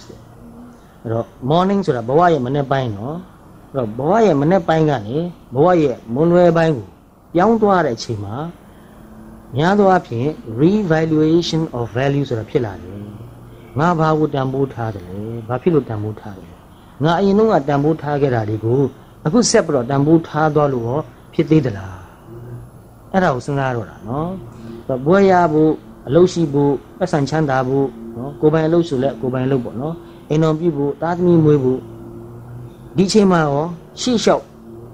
နေသွားဖို့အတွက်ဘာလို့တန်ဖိုးထားအောင်လဲတန်ဖိုးထားတာကြီးရင်တူလို့ဖြစ်သလား တူလို့မဖြစ်ဘူးနော်စောစောတော့ပြောသလိုပဲကလေးလေးကနှစ်နှစ်သုံးနှစ်ရွယ်ကကစားတာသူ့အတွက်အရေးကြီးဆုံးပဲဒါသူတန်ဖိုးထားတာငါးနှစ်လောက်ရွယ်ရောက်လာရင်ပညာသင်တာတန်ဖိုးထားရမယ်နော်ဒီလုံးနဲ့ပြောင်းပြောင်းသွားတာနော်အဲဘွဲရပြီဆိုရင်အလုတ်လုတ်ဖို့ဒါကိုတန်ဖိုးထားရမယ်နော်စောင့်ဝင်နေရေးဆိုတာသူတစ်ပါးပေါ်မိကိုလို့မဖြစ်ဘူးနော်ကိုချစ်တော့ပေါ်ကိုအားကိုရမယ်ကိုအိမ်တော်နဲ့ကိုသားသမီးနဲ့တခါဖြစ်ရအောင်ပါနော်အဲ့တော့အဲ့ဒီ40ကျော်ပန်းရောက်လာတဲ့ခါကျတော့ ရှေ့သွားမယ်ဘဝအတွက်ဘာကိုတန်ဖိုးထားမလဲဆိုတာကိုပြန်သုံးသပ်ရတယ်နော်အဲ့တော့ဟိုးတစ်ခေါက်တုန်းကမနှစ်လောက်တုန်းကလို့ထင်ပါတယ်ဆရာဝန်ကြီးတယောက်အကြောင်းကိုနည်းနည်းပြောပြဘူးလေနော်သူ့အကြောင်းကိုတော်တော်လေးရှည်ရှည်လေးပြောပြဘူးပါတယ်အခုအကျဉ်းလောက်ပြောလိုက်ချင်တာနော်အဲ့ဒီဆရာဝန်ကြီးဟာသူကကနေဒါနိုင်ငံသားပါနော်ဒါပေမဲ့တစ်ခါတလေအမေရိကန်မှာနေတယ်တစ်ခါတလေအင်္ဂလန်မှာနေတယ်ဟုတ်အဲသူကငယ်ငယ်တည်းကပညာကိုတော်တော်ကြိုးစားပြီးတော့သင်တာနော် သူမိဘတွေကလည်းပညာတတ်တွေပါပဲသူပြောတယ်လို့ဆိုရင်တော့သူ့မိဘတွေကဘာသာတရားမကိုးကွယ်ဘူးနော်ဘာဘာသာမှမရှိဘူးအဲသူကလည်းပညာပဲကြိုးစားပြီးတော့သင်တယ်ဆရာဝန်ဘွဲ့လုံကြီးတွေပါရဂူဘွဲ့ရတဲ့ထင်အောင်သင်တယ်ပါရဂူဘွဲ့ကိုရပြီးတဲ့နောက်ကျတော့သူအင်တန်ချစ်ခင်နှစ်သက်တဲ့အဲအမျိုးသမီးတယောက်ကိုအင်တော်ပြုတယ်နော်ရုပ်ရည်လည်းအင်တန်တင့်နေပါတယ်သူတို့ကိုမြင်မှုပါတယ်သူတို့နဲ့လည်းသိတာပေါ့နော် အဲ့လိုနဲ့အလုပ်ကိုအင်မတန်ကြိုးစားပြီးလုပ်တာနော်ပတ်စံလေးအများကြီးရှာနိုင်တယ်အဲ့တော့အိမ်ကြီးကြီးကောင်းကောင်းတူဝဲတယ်နော်ကားမှ၃စီးတူဝဲတယ်အကြီးကတစ်မျိုးအငယ်ကတစ်မျိုးပြီးတော့ဟိုပျော်ပွဲစားသွားရင်သုံးဖို့ဆိုတဲ့ကမ်ပါလို့သူတို့ခေါ်ပါတယ်နော်အဲ့ဒါကလည်းတစ်စီးအဲ့လိုနော်သမီးလေးတယောက်ရှိတယ်သမီးကလည်းဒီတယောက်ပဲရှိတာပါနော်အဲ့လိုနဲ့အပျော်ပါးတွေအမျိုးမျိုးခံစားပြီးတော့အင်တာအစင်တန်းမြင့်မြင့်ဂုံရှိရှိ ဂုံရှိတဲ့လူတွေရဲ့အတိုင်းဝိုင်းတွေမှာနော်နေခဲ့တာသူ့အတိုင်းဝိုင်းတွေကလည်းဒီလိုပဲပါရဂူဒီပညာတတ်တွေအဲ့ဒီလိုသူ့လိုပဲအစင်မြင့်မြင့်နေတဲ့လူတွေပဲအဲ့လိုနဲ့နေလာပြီးတော့အသက်40ကျော်လာတော့သူ့စိတ်ထဲမှာကြာလီမပျော်လီကြာလီမပျော်လီဖြစ်လာတယ်သူဘာကြောင့်မပျော်ဘူးဆိုတာ तू မသိဘူးတဲ့နော်အဲ့တော့မသိတော့ तू မိတ်ဆွေစိတ်ပညာရှင်စေယောဂပါရဂူတယောက်ကိုတော့ပြတော့ပြတော့သူ့မိတ်ဆွေက ဒါ depression ဖြစ်တာပါနော်အမှန်တော့အဲ့ဒီ depression ဖြစ်တာပါလို့နာမည်တက်လိုက်တာဘာမှသိထူမသွားဘူးမင်းစိတ်ဓာတ်ကျနေတာပါလို့ပြောလိုက်တာပဲဒါမှဒီစိတ်ဓာတ်ကိုဘယ်လိုလုပ်ပြန်တင်ဘာဖြစ်လို့စိတ်ဓာတ်ကျတာလဲလို့ तू မပြောနိုင်ဘူးနော်ဒီစိတ်ဓာတ်ကိုမကြောက်မလို့လုပ်မယ်ဆို तू မပြောနိုင်ဘူးနော်အဲ့ဒီစိတ်ဓာတ်ကျတဲ့အချိန်မှာနည်းနည်းတက်တာအောင်ဆိုပြီးတော့ဆေးပဲပေးတာပဲနော်တက်တာအောင်ဆေးပေးအဲ့တော့ तू မပြောဘူးနော်အလုပ်လုပ်ရလဲ तू မပြောတော့ဘူးနော် ပတ်စံတွေတော့အများကြီးလှိပ်ပြီးတော့ရနေတာနော်အိမ်ရောက်သွားရင်လည်းပဲအိမ်မှာလည်း तू မပြောဘူးသူ့ဇနီးကိုလည်း तू စိတ်ဝင်စားတော့ဘူးဘာမှလည်းမပြောချင်တော့ဘူးငငယ်တုန်းကစကားတွေပြောလို့မကုန်ဘူးနော်တဖြည်းဖြည်းတဖြည်းဖြည်းအသက်ကြီးလာတဲ့အခါပြောစရာစကားမရှိမရှိမရှိမရှိဖြစ်သွားတော့ဘာမှပြောစရာမရှိတော့သူကလည်းသူ့ခန်းထဲမှာ television တစ်လုံးနဲ့ကိုကလည်းကိုယ့်ခန်းထဲမှာ television တစ်လုံးနဲ့ပဲပြီးရောနော်အတိတ်ပဲမရှိတော့ အဲ့တော့ကြားတော့တတိမပြောတာကိုတော်တော်အဲ့တော့ကြားတော့တတိမပြောတာကိုတော်တော်သိမခံနိုင်တော့နော်အဲ့တော့စိတ်သက်သာမှုရအောင်ဆိုပြီးတော့မူရည်စည်းဝါးတွေတော့လူလျှောက်လုံးမိသေးတယ်ပြောမလားဆိုပြီးနော်ပြောစရာလိုက်ရှာတာနောက်ဆုံးဘလို့မှသိမခံနိုင်တော့အဲ့ဒီအလောက်ကနေထွက်ပလိုက်တယ်အိမ်ကိုလည်းရောင်းပလိုက်တယ်ဇနီးကိုလည်းပဲပြက်ဆဲလိုက်တယ်မထူးပါဘူးတဲ့ဘာမှမပြောတဲ့အိမ်တော်ကြီးကြီးဘာလို့ဆက်ပြီးတော့နေရမှာလဲ သမီးလေးတယောက်ရှိတာသူ့ကသူ boarding ကျောင်းကိုပို့လိုက်တယ်ကျောင်းရင်ကျောင်းစားနော်အချိန်တိုင်းပတ်စံပို့ပေးလိုက်မယ်အဲ့ဒီမှာပဲနေအဲ့ဒီမှာပဲစားအဲ့ဒီမှာပဲကျောင်းတက်တော့အဲ့လိုဖြစ်သွားပြီနော်ကားကိုနှစ်စီးရောင်းလိုက်တယ်တစ်စီးပဲထားတယ်အဲ့ဒီကားတစ်စီးနဲ့ခြေသလုံးအိမ်နဲ့လျှောက်သွားတာရောက်လျာသွားကားထိုးထားကျုံရဟိုတယ်မှာနေပတ်စံတော့အများကြီးရှိသေးတယ်သူရှာဖွေစူးစောင်းထားတာအများကြီးရှိတိတ်ချမ်းသာတယ်နော်အဲ့လိုပဲသုံးဖြုံးပြီးပျော်မလားလို့နော်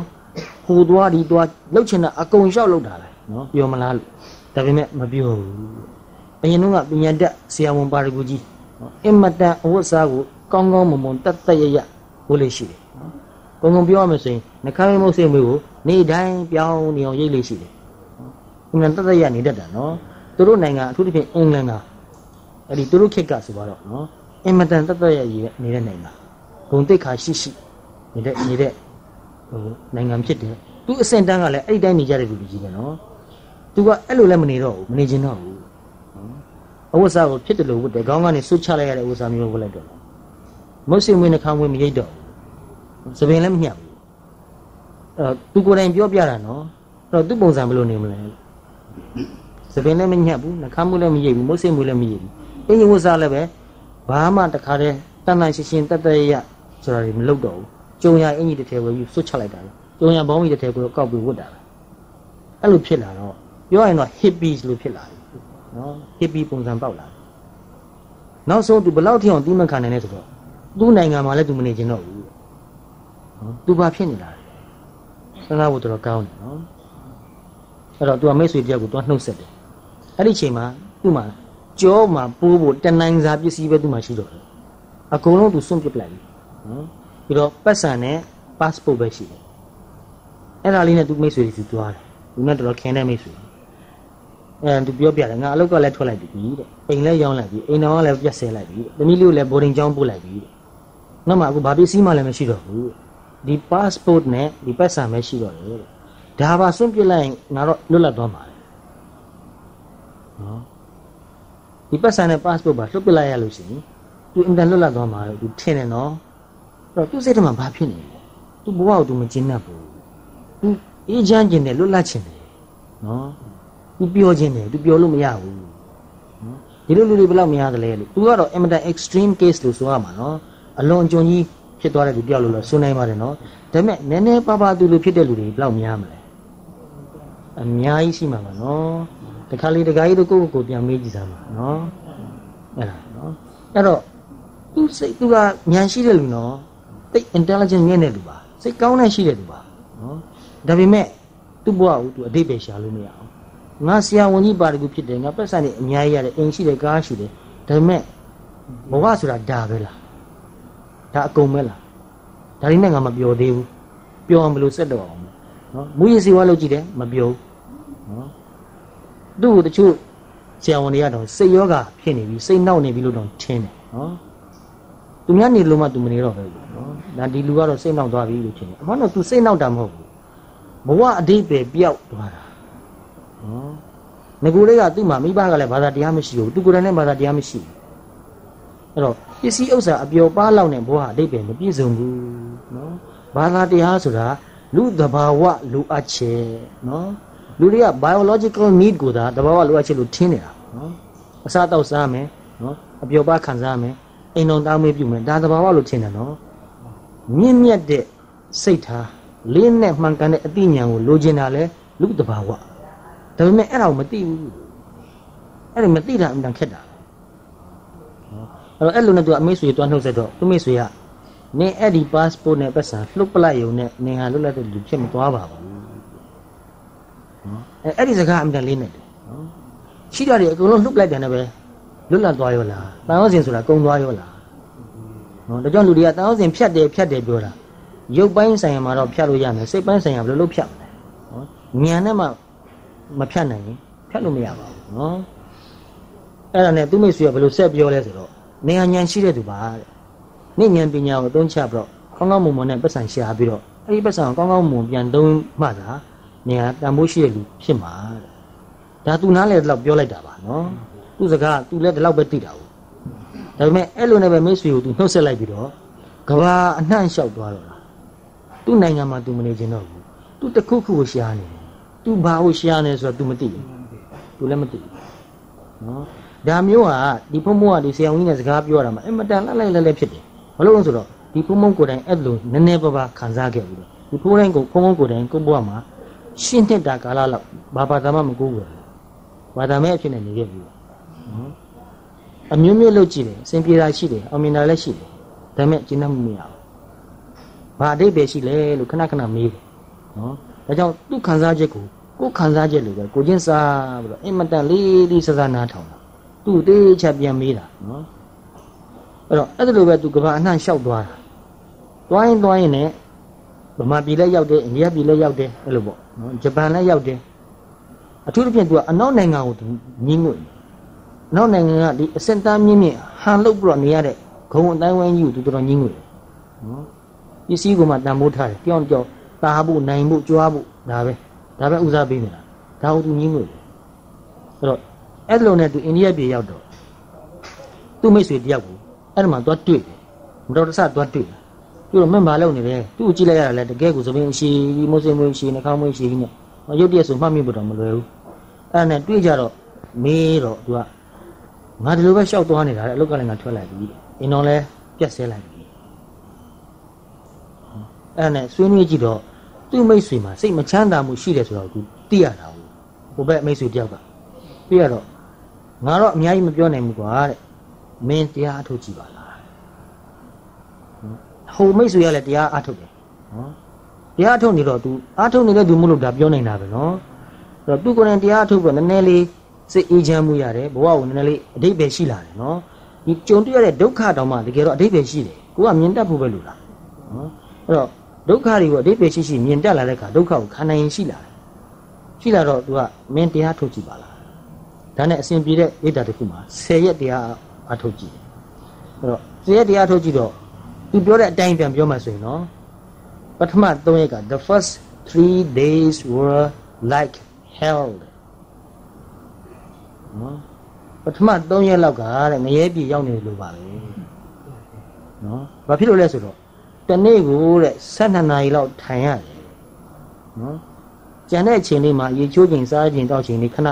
break ရှိတယ်တနာရီပြီးရင်တခါ9မိနစ်လောက်10မိနစ်လောက် break ရှိတယ်အဲ့တော့သူတို့လူမျိုးကတနေ့ကို10နာရီညင်ညင်ထိုင်တဲ့လူမျိုးမဟုတ်ဘူးနော်အဲ့တော့ညင်ညင်လေးတနာရီထိုင်မှုဆိုတာတော်တော်တော့မလွယ်ပါဘူးအလေးချင်းမရှိဘူးအမှန်ခက်ပါတယ်အဲ့ တော့ထိုင်နေကြတော့ညောင်းလာတယ်ကြိုက်လာတယ်ထုံလာတယ်ကျင်လာတယ်ပူလာတယ်နော်မီးခဲပေါ်မှာထိုင်ရတယ်လို့တခါလေးဖြစ်တတ်တယ်နော်အဲ့တော့ဒါပေမဲ့ဒီလူတွေဟာတစ်မျိုးပဲသူတို့ကလုံမယ်ဆိုတကယ်လုံတဲ့လူတွေနော်အဲ့တော့ဤခံပြီးတော့မရမကစူးစမ်းပြီးအားထုတ်တာနော်အခြေခံကတော့အာနာပါနပါပဲနော်အသက်ရှူတော့သူချက်တတိကပြီးတော့စူးစမ်းတာပဲအဲ၃လရက်လောက်ကြာလာတဲ့ခါသမာဓိလေးနည်းနည်းကောင်းလာတော့ခန္ဓာကိုယ်မှာဖြစ်ပေါ်လို့မြဝေဒနာတွေအားလုံးနော် ကြည့်တယ်နော်ဝေဒနာနုပဒနာအားထုတ်တယ်နော်အဲ့လိုနဲ့သူဘယ်လိုပြောလဲဆိုတော့9ရက်လောက်ကြာတဲ့ခါမှာတဲ့နည်းနည်းငြိမ်းချမ်းလာတယ်စိတ်ကနည်းနည်းအေးချမ်းလာတယ်အရင်တော့ကနာတာကျင်တာထုံတာကြိုက်တာပူတာတွေကလည်းတဖြည်းဖြည်းဖြည်းဖြည်းနဲ့ပြောင်းသွားတယ်နော်10ရက်လောက်ကြာတော့သူအင်မတန်ချမ်းသာနေပြီနော်ဘာမှတော့သူအထူးတလည်းမသိပါဘူးတဲ့အင်မတန်ချမ်းသာတယ်ဆိုတော့သူသိတယ်တဲ့နော်အဲ့တော့သူဘယ်လိုပြောလဲဆိုတော့သူ့ကိုယ်သူပြောလိုက်တယ်တဲ့ငါလိုချင်တာဒါပဲ နော်ဘာမှမသိဘဲနဲ့သူလိုက်ရှာနေတာနော်တွားတွေ့တယ်နော်တွားတွေ့တော့မှဒါပဲအဲ့ဒီကနေနောက်ပိုင်းမှာလဲသူခဏခဏမေတ္တာတွေမှာတရားအထုတ်တယ်နော်တော်တော်လေးကြာသွားတယ်သူ့မှာလဲဟိုထိုင်စားလောက်အောင်ငွေကအများကြီးရှိသေးတာပေါ့နော်နောက်တော့တဖြည်းဖြည်းငွေကတော့နည်းသွားတာပေါ့နော်အဲ့လိုနဲ့သူတော်တော်လေးတဖြည်းဖြည်းနဲ့ဝိပဿနာဉာဏ်ကြီးပါတယ်ရင်းလာတဲ့ခါမှာစိတ်ထားတွေပြောင်းသွားတယ် အသိဉာဏ်တွေပြောင်းသွားတယ်သဘောထားတွေပြောင်းသွားတယ်အဲ့ဒီခါကျတော့ဘယ်လိုဖြစ်လာလဲဆိုတော့သူအင်မတန်စိတ်ချမ်းသာနေတုံးမှာနော်သူအရင်တုန်းကဇနီးကိုပြန်တတိရတဲ့ခါသူတိတ်တနာသွားတယ် compassion ဖြစ်လာတယ်တဲ့နော်တရားအထုတ်လာတော့ compassion ဆိုတာဘာလဲတော့ကရုဏာနော်ကရုဏာဖြစ်လာတယ်နော်အဲ့တော့ကိုကတကယ်စိတ်ချမ်းသာမှသူတော်ဘာမေတ္တာကရုဏာထားနိုင်တာနော်ကိုဘဝကိုကိုမကျင်တတ်တဲ့လူဟာ ကိုကိုကိုမှမချစ်တဲ့လူဟာသူတော်ဘာကိုမေတ္တာကရုဏာထားနိုင်ဖို့မဖြစ်နိုင်ဘူးပါဇက်ပြောပဲဖြစ်တယ်နော်အဲ့တော့သူအင်မတန်တရားထုတ်လို့ငြိမ်းချမ်းနေတဲ့ခါမှာသူတို့တရားနီးပေးတဲ့ဆရာကြီးတွေကလည်းမေတ္တာဘာဝနာလဲအားထုတ်ဖို့ညွန်ညွန်ကြားပေးတာပေါ့နော်သင်ပေးတာပေါ့အဲ့တော့အဲ့ဒီခါမှာသူတယောက်ချင်းတယောက်ချင်းအာယုံပြုတ်ကြည့်တဲ့ခါမှာလူတိုင်းဟာအင်တန်ဒုက္ခကြီးကြီးကိုရင်မှပိုက်ပြီးတော့အနေနေရတယ်ဆိုတော့သူသိတယ်နော် ဘယ်သူမှတကယ်စိတ်မချမ်းသာဘူးဆိုတော့လည်းသူသိတယ်အဲ့ဒီအချိန်မှာ compassion ဖြစ်လာတယ်နော်ဒါသူသုံးတဲ့စကားလုံးပါပဲနော်အဲ့တော့နောက်တော့သူနိုင်ငံသူပြန်သွားပါလေနော်ပြန်သွားပြီးတော့အဲ့ဒီသူခွဲခွာပြီးတော့ထားခဲ့တဲ့သူ့ဇနီးကိုပြန်ခေါ်ပြီးတော့အေးအေးစီစီရိုးရိုးသားသားပြန်ပြောပြီးဆွေးနွေးတယ်နော်သူအရင်တော့ကဘယ်လိုခံစားခဲ့ရလဲအခုသူတို့ဘယ်လိုခံစားရလဲဆိုတာပြောပြပြီးတော့သူတို့နှစ်ယောက်ပြန်ပြီးတော့ ပေါင်းသွားတယ်ဆိုတော့နော်အဲ့တော့တရားအထုတ်ပြီးတော့တရားတွေသိလာကမှဘာဖြစ်လို့အိမ်တော်ကိုပြန်ပေါင်းသေးတယ်လဲလို့မေးစရာကြီးဖြစ်သွားအောင်နော်အဲ့တော့သူကဘယ်လိုပြောလဲဆိုတော့အရင်တုန်းကဒီမိမကိုယူတော့ကတဲ့ passion နဲ့ယူခဲ့တာပါတဲ့ passion ဆိုတာဆွဲလန်းမှုတာယာမှုကိုမမောတဲ့စိတ်နော်အာယုံကိုမမောတဲ့စိတ်သူငါ့ကိုတာယာမှုပေးမယ်သူနဲ့နေရရင်ငါပြုံးမယ်နော် အဲ့ဒီ passion ဆိုတဲ့ကိလေသာတဏှာဆိုပါတော့နော် lust ဘယ်လိုပြောပြောပေါ့နော်အဲ့ဒီစိတ်နဲ့ယူခဲ့တာပါတဲ့အခုတစ်ခေါက်ပြန်ယူတာကတော့ compassion နဲ့ယူတာပါတိတ်လှတယ်သူပြောတဲ့စကားလေးကနော်တိတ်အတိတ်ပဲနည်းနည်းပါလေအရင်တုန်းကตายာမှုမျောလင့်ပြီးတော့ယူတာအခုတော့ကရုဏာနဲ့ယူတာအရင်တုန်းကကိုယ့်အတွက်တွေးပြီးယူတာအခုတော့သူ့အတွက်ကိုတွေးပြီးယူတာနော်သူ့ကိုစိတ်ချမ်းသာစေခြင်းနဲ့သူ့ကို တရားအထုတ်စေခြင်းနဲ့သူ့မိမကတော့ Roman Catholic ဘာသာတရားတစ်ခုတော့ရှိတာပေါ့နော်အဲ့ဒါနဲ့သူ့မိမကိုလည်းသူတရားအထုတ်ဖို့တိုက်တွန်းတယ်နော်အဲ့တော့တယောက်ကိုတယောက်တကယ်ချစ်တယ်ဆိုတာအဲ့ဒါမှချစ်တာကိုယ့်ဘို့မဟုတ်တော့ဘူးနော်သူ့ဘို့သူ့ကိုမေတ္တာကရုဏာထားတယ်သူ့ကိုတရားတွေသိပြီးတော့ငြိမ်းချမ်းစေခြင်းတယ်လွတ်လပ်သွားစေခြင်းတယ်နော်ခိုင်မာတဲ့သူရင့်ကျက်သူဖြစ်သွားစေခြင်းတယ်အဲ့လိုဖြစ်သွားတာနော် ပြီးတော့အရင်အလုပ်ကိုပြန်လုပ်တယ်နော်ဒါပေမဲ့အရင်သဘောထားတိုင်းမဟုတ်တော့အရင်တုန်းကလူနာများများလိုချင်တယ်ပတ်စံများများလိုချင်တယ်အခုတော့အဲ့လိုမဟုတ်တော့ဘူးလူနာနည်းနည်းပဲလိုချင်တယ်ရောက်လာလူနာကိုအေးအေးဆေးဆေးစကားပြောတယ်သူခန္ဓာကိုယ်မှာဘာယောဂဖြစ်နေလဲစိတ်ကောဘယ်နဲ့နေလဲအိမ်မှာမိသားစုဆက်ဆံရေးဘယ်နဲ့နေလဲစားဝင်နေဘယ်နဲ့နေလဲဘာဖြစ်လို့ဆိုတော့စားဝင်နေရေးအဆင်မပြေရင်လည်းယောဂဖြစ်တတ်တယ်အိမ်မှာမိသားစုအဆင်မပြေလည်းပဲယောဂဖြစ်တတ်တယ်နော်အဲ့တော့ခန္ဓာကိုယ်ဆိုတာ ရုပ်တစ်ပိုင်းနာမ်တစ်ပိုင်းခွဲထားလို့မရအောင်နော်ရုပ်တရားနဲ့နာမ်တရားတခါတည်းတွဲနေတာနော်အဲ့တော့လုပ်ငန်းကံကန်းမှာအဆင်မပြေလို့ရှိရင်စိတ်ဆင်းရင်ခန္ဓာကိုယ်မှာယောဂဖြစ်လာတာအိမ်မှာမိသားစုအိမ်တော်ကြီးစသည်အဖြစ်အဆင်မပြေရင်ယောဂဖြစ်လာတာအထူးသဖြင့်နှလုံးယောဂသွေးတိုးယောဂအစာမကြည်တဲ့ယောဂအိမ်မပြောတဲ့ယောဂအားငယ်တဲ့ယောဂစိတ်ဓာတ်ကျတဲ့ depression ယောဂဒါတွေကဘဝနဲ့ပတ်သက်နေတာနော်နေပုံထိုင်ပုံဆက်ဆံရေးအပေါ်မှာမူတည်တယ်နော်နေပုံထိုင်ပုံမမှန်ရင်ဆက်ဆံရေးမမှန်ရင်ယောဂဖြစ်တယ် နေပုံထိုင်ပုံမှန်ရင်ဆက်ဆံရေးမှန်ရင်ယောဂတက်တာလေယောဂမဖြစ်ဘူးအဲ့လိုဖြစ်တာဘူးအဲ့တော့လူနာတွေကိုသူကရုဏာနဲ့ဆက်ဆံတယ်လို့အေးအေးဆေးဆေးစကားပြောတယ်တေးသေးချာချာနဲ့နဲ့နဲ့နဲ့သဘောပေါက်အောင်ရှင်းပြတယ်ပြီးတော့လူနာတိုင်းကိုတရားထုတ်ခိုင်းတယ်ဘာဘာသာကိုယ်ွယ်ကိုယ်ွယ်အရင်ကြည့်ဘူးတရားတော့အထုတ်ပါနော်အဲ့တော့သူကိုယ်တိုင်ကတရားနီးပေးတဲ့တရားဆရာဖြစ်လာတယ်နော်ပတ်စံကတော့အရင်တော့မရဘူးတဲ့ဒါပေမဲ့ကိစ္စမရှိပါဘူး အရင်လိုလည်းမဖြုံးတော့ဘူးတဲ့အင်မတန်ခြေတာပြီးတော့သုံးပြီးတော့ပတ်စံသူစုတယ်စုပြီးရင်6လအလုပ်လုပ်ပြီးရင်6လတရားထုတ်တယ်အဲ့လိုဖြစ်လာတာနော်တော့ဒီချက်ကအမှန်တန်ရေးကြည့်တယ်ဒီဆရာဝန်ကြီးနဲ့ပတ်သက်တဲ့သူ့ဘဝဖြစ်စဉ်ဟာနည်းနည်းနည်းနည်းနားလေဖို့အလွန်အရေးကြီးတဲ့ကိစ္စဖြစ်နေတယ် model သဘောမျိုးနဲ့ထားပြီးစဉ်းစားသင့်တယ်နော်အဲ့တော့အသက်40ကျော်လာတဲ့ခါမှာအလုတ်ပေါ်မှာထားတဲ့သဘောထားလဲပြောင်းသွားပြီနော်ဒါတရားကြောင့်ပါနော်အိမ်တော်ကြီးမှာထားတဲ့သဘောထားလဲ ပြောင်းသွားပြီပို့ပြီးတော့လေးနဲ့တဲ့ပို့ပြီးတော့မြင့်မြတ်တဲ့သဘောထားတွေဖြစ်လာတယ်နော်လူနာနဲ့ဆက်ဆံတဲ့ခါမှာသူ့စီကပတ်စံရဖို့နေမဟုတ်ဘူးသူ့ဘဝတကယ်အဆင်ပြေသွားဖို့သူတကယ်စိတ်ချမ်းသာသွားဖို့သူ့ယောဂပျောက်ဖို့ဒါကိုဥစားပေးတာအဲ့လိုဖြစ်လာတာနော် The transition from morning to afternoon is a reviolation of earlier values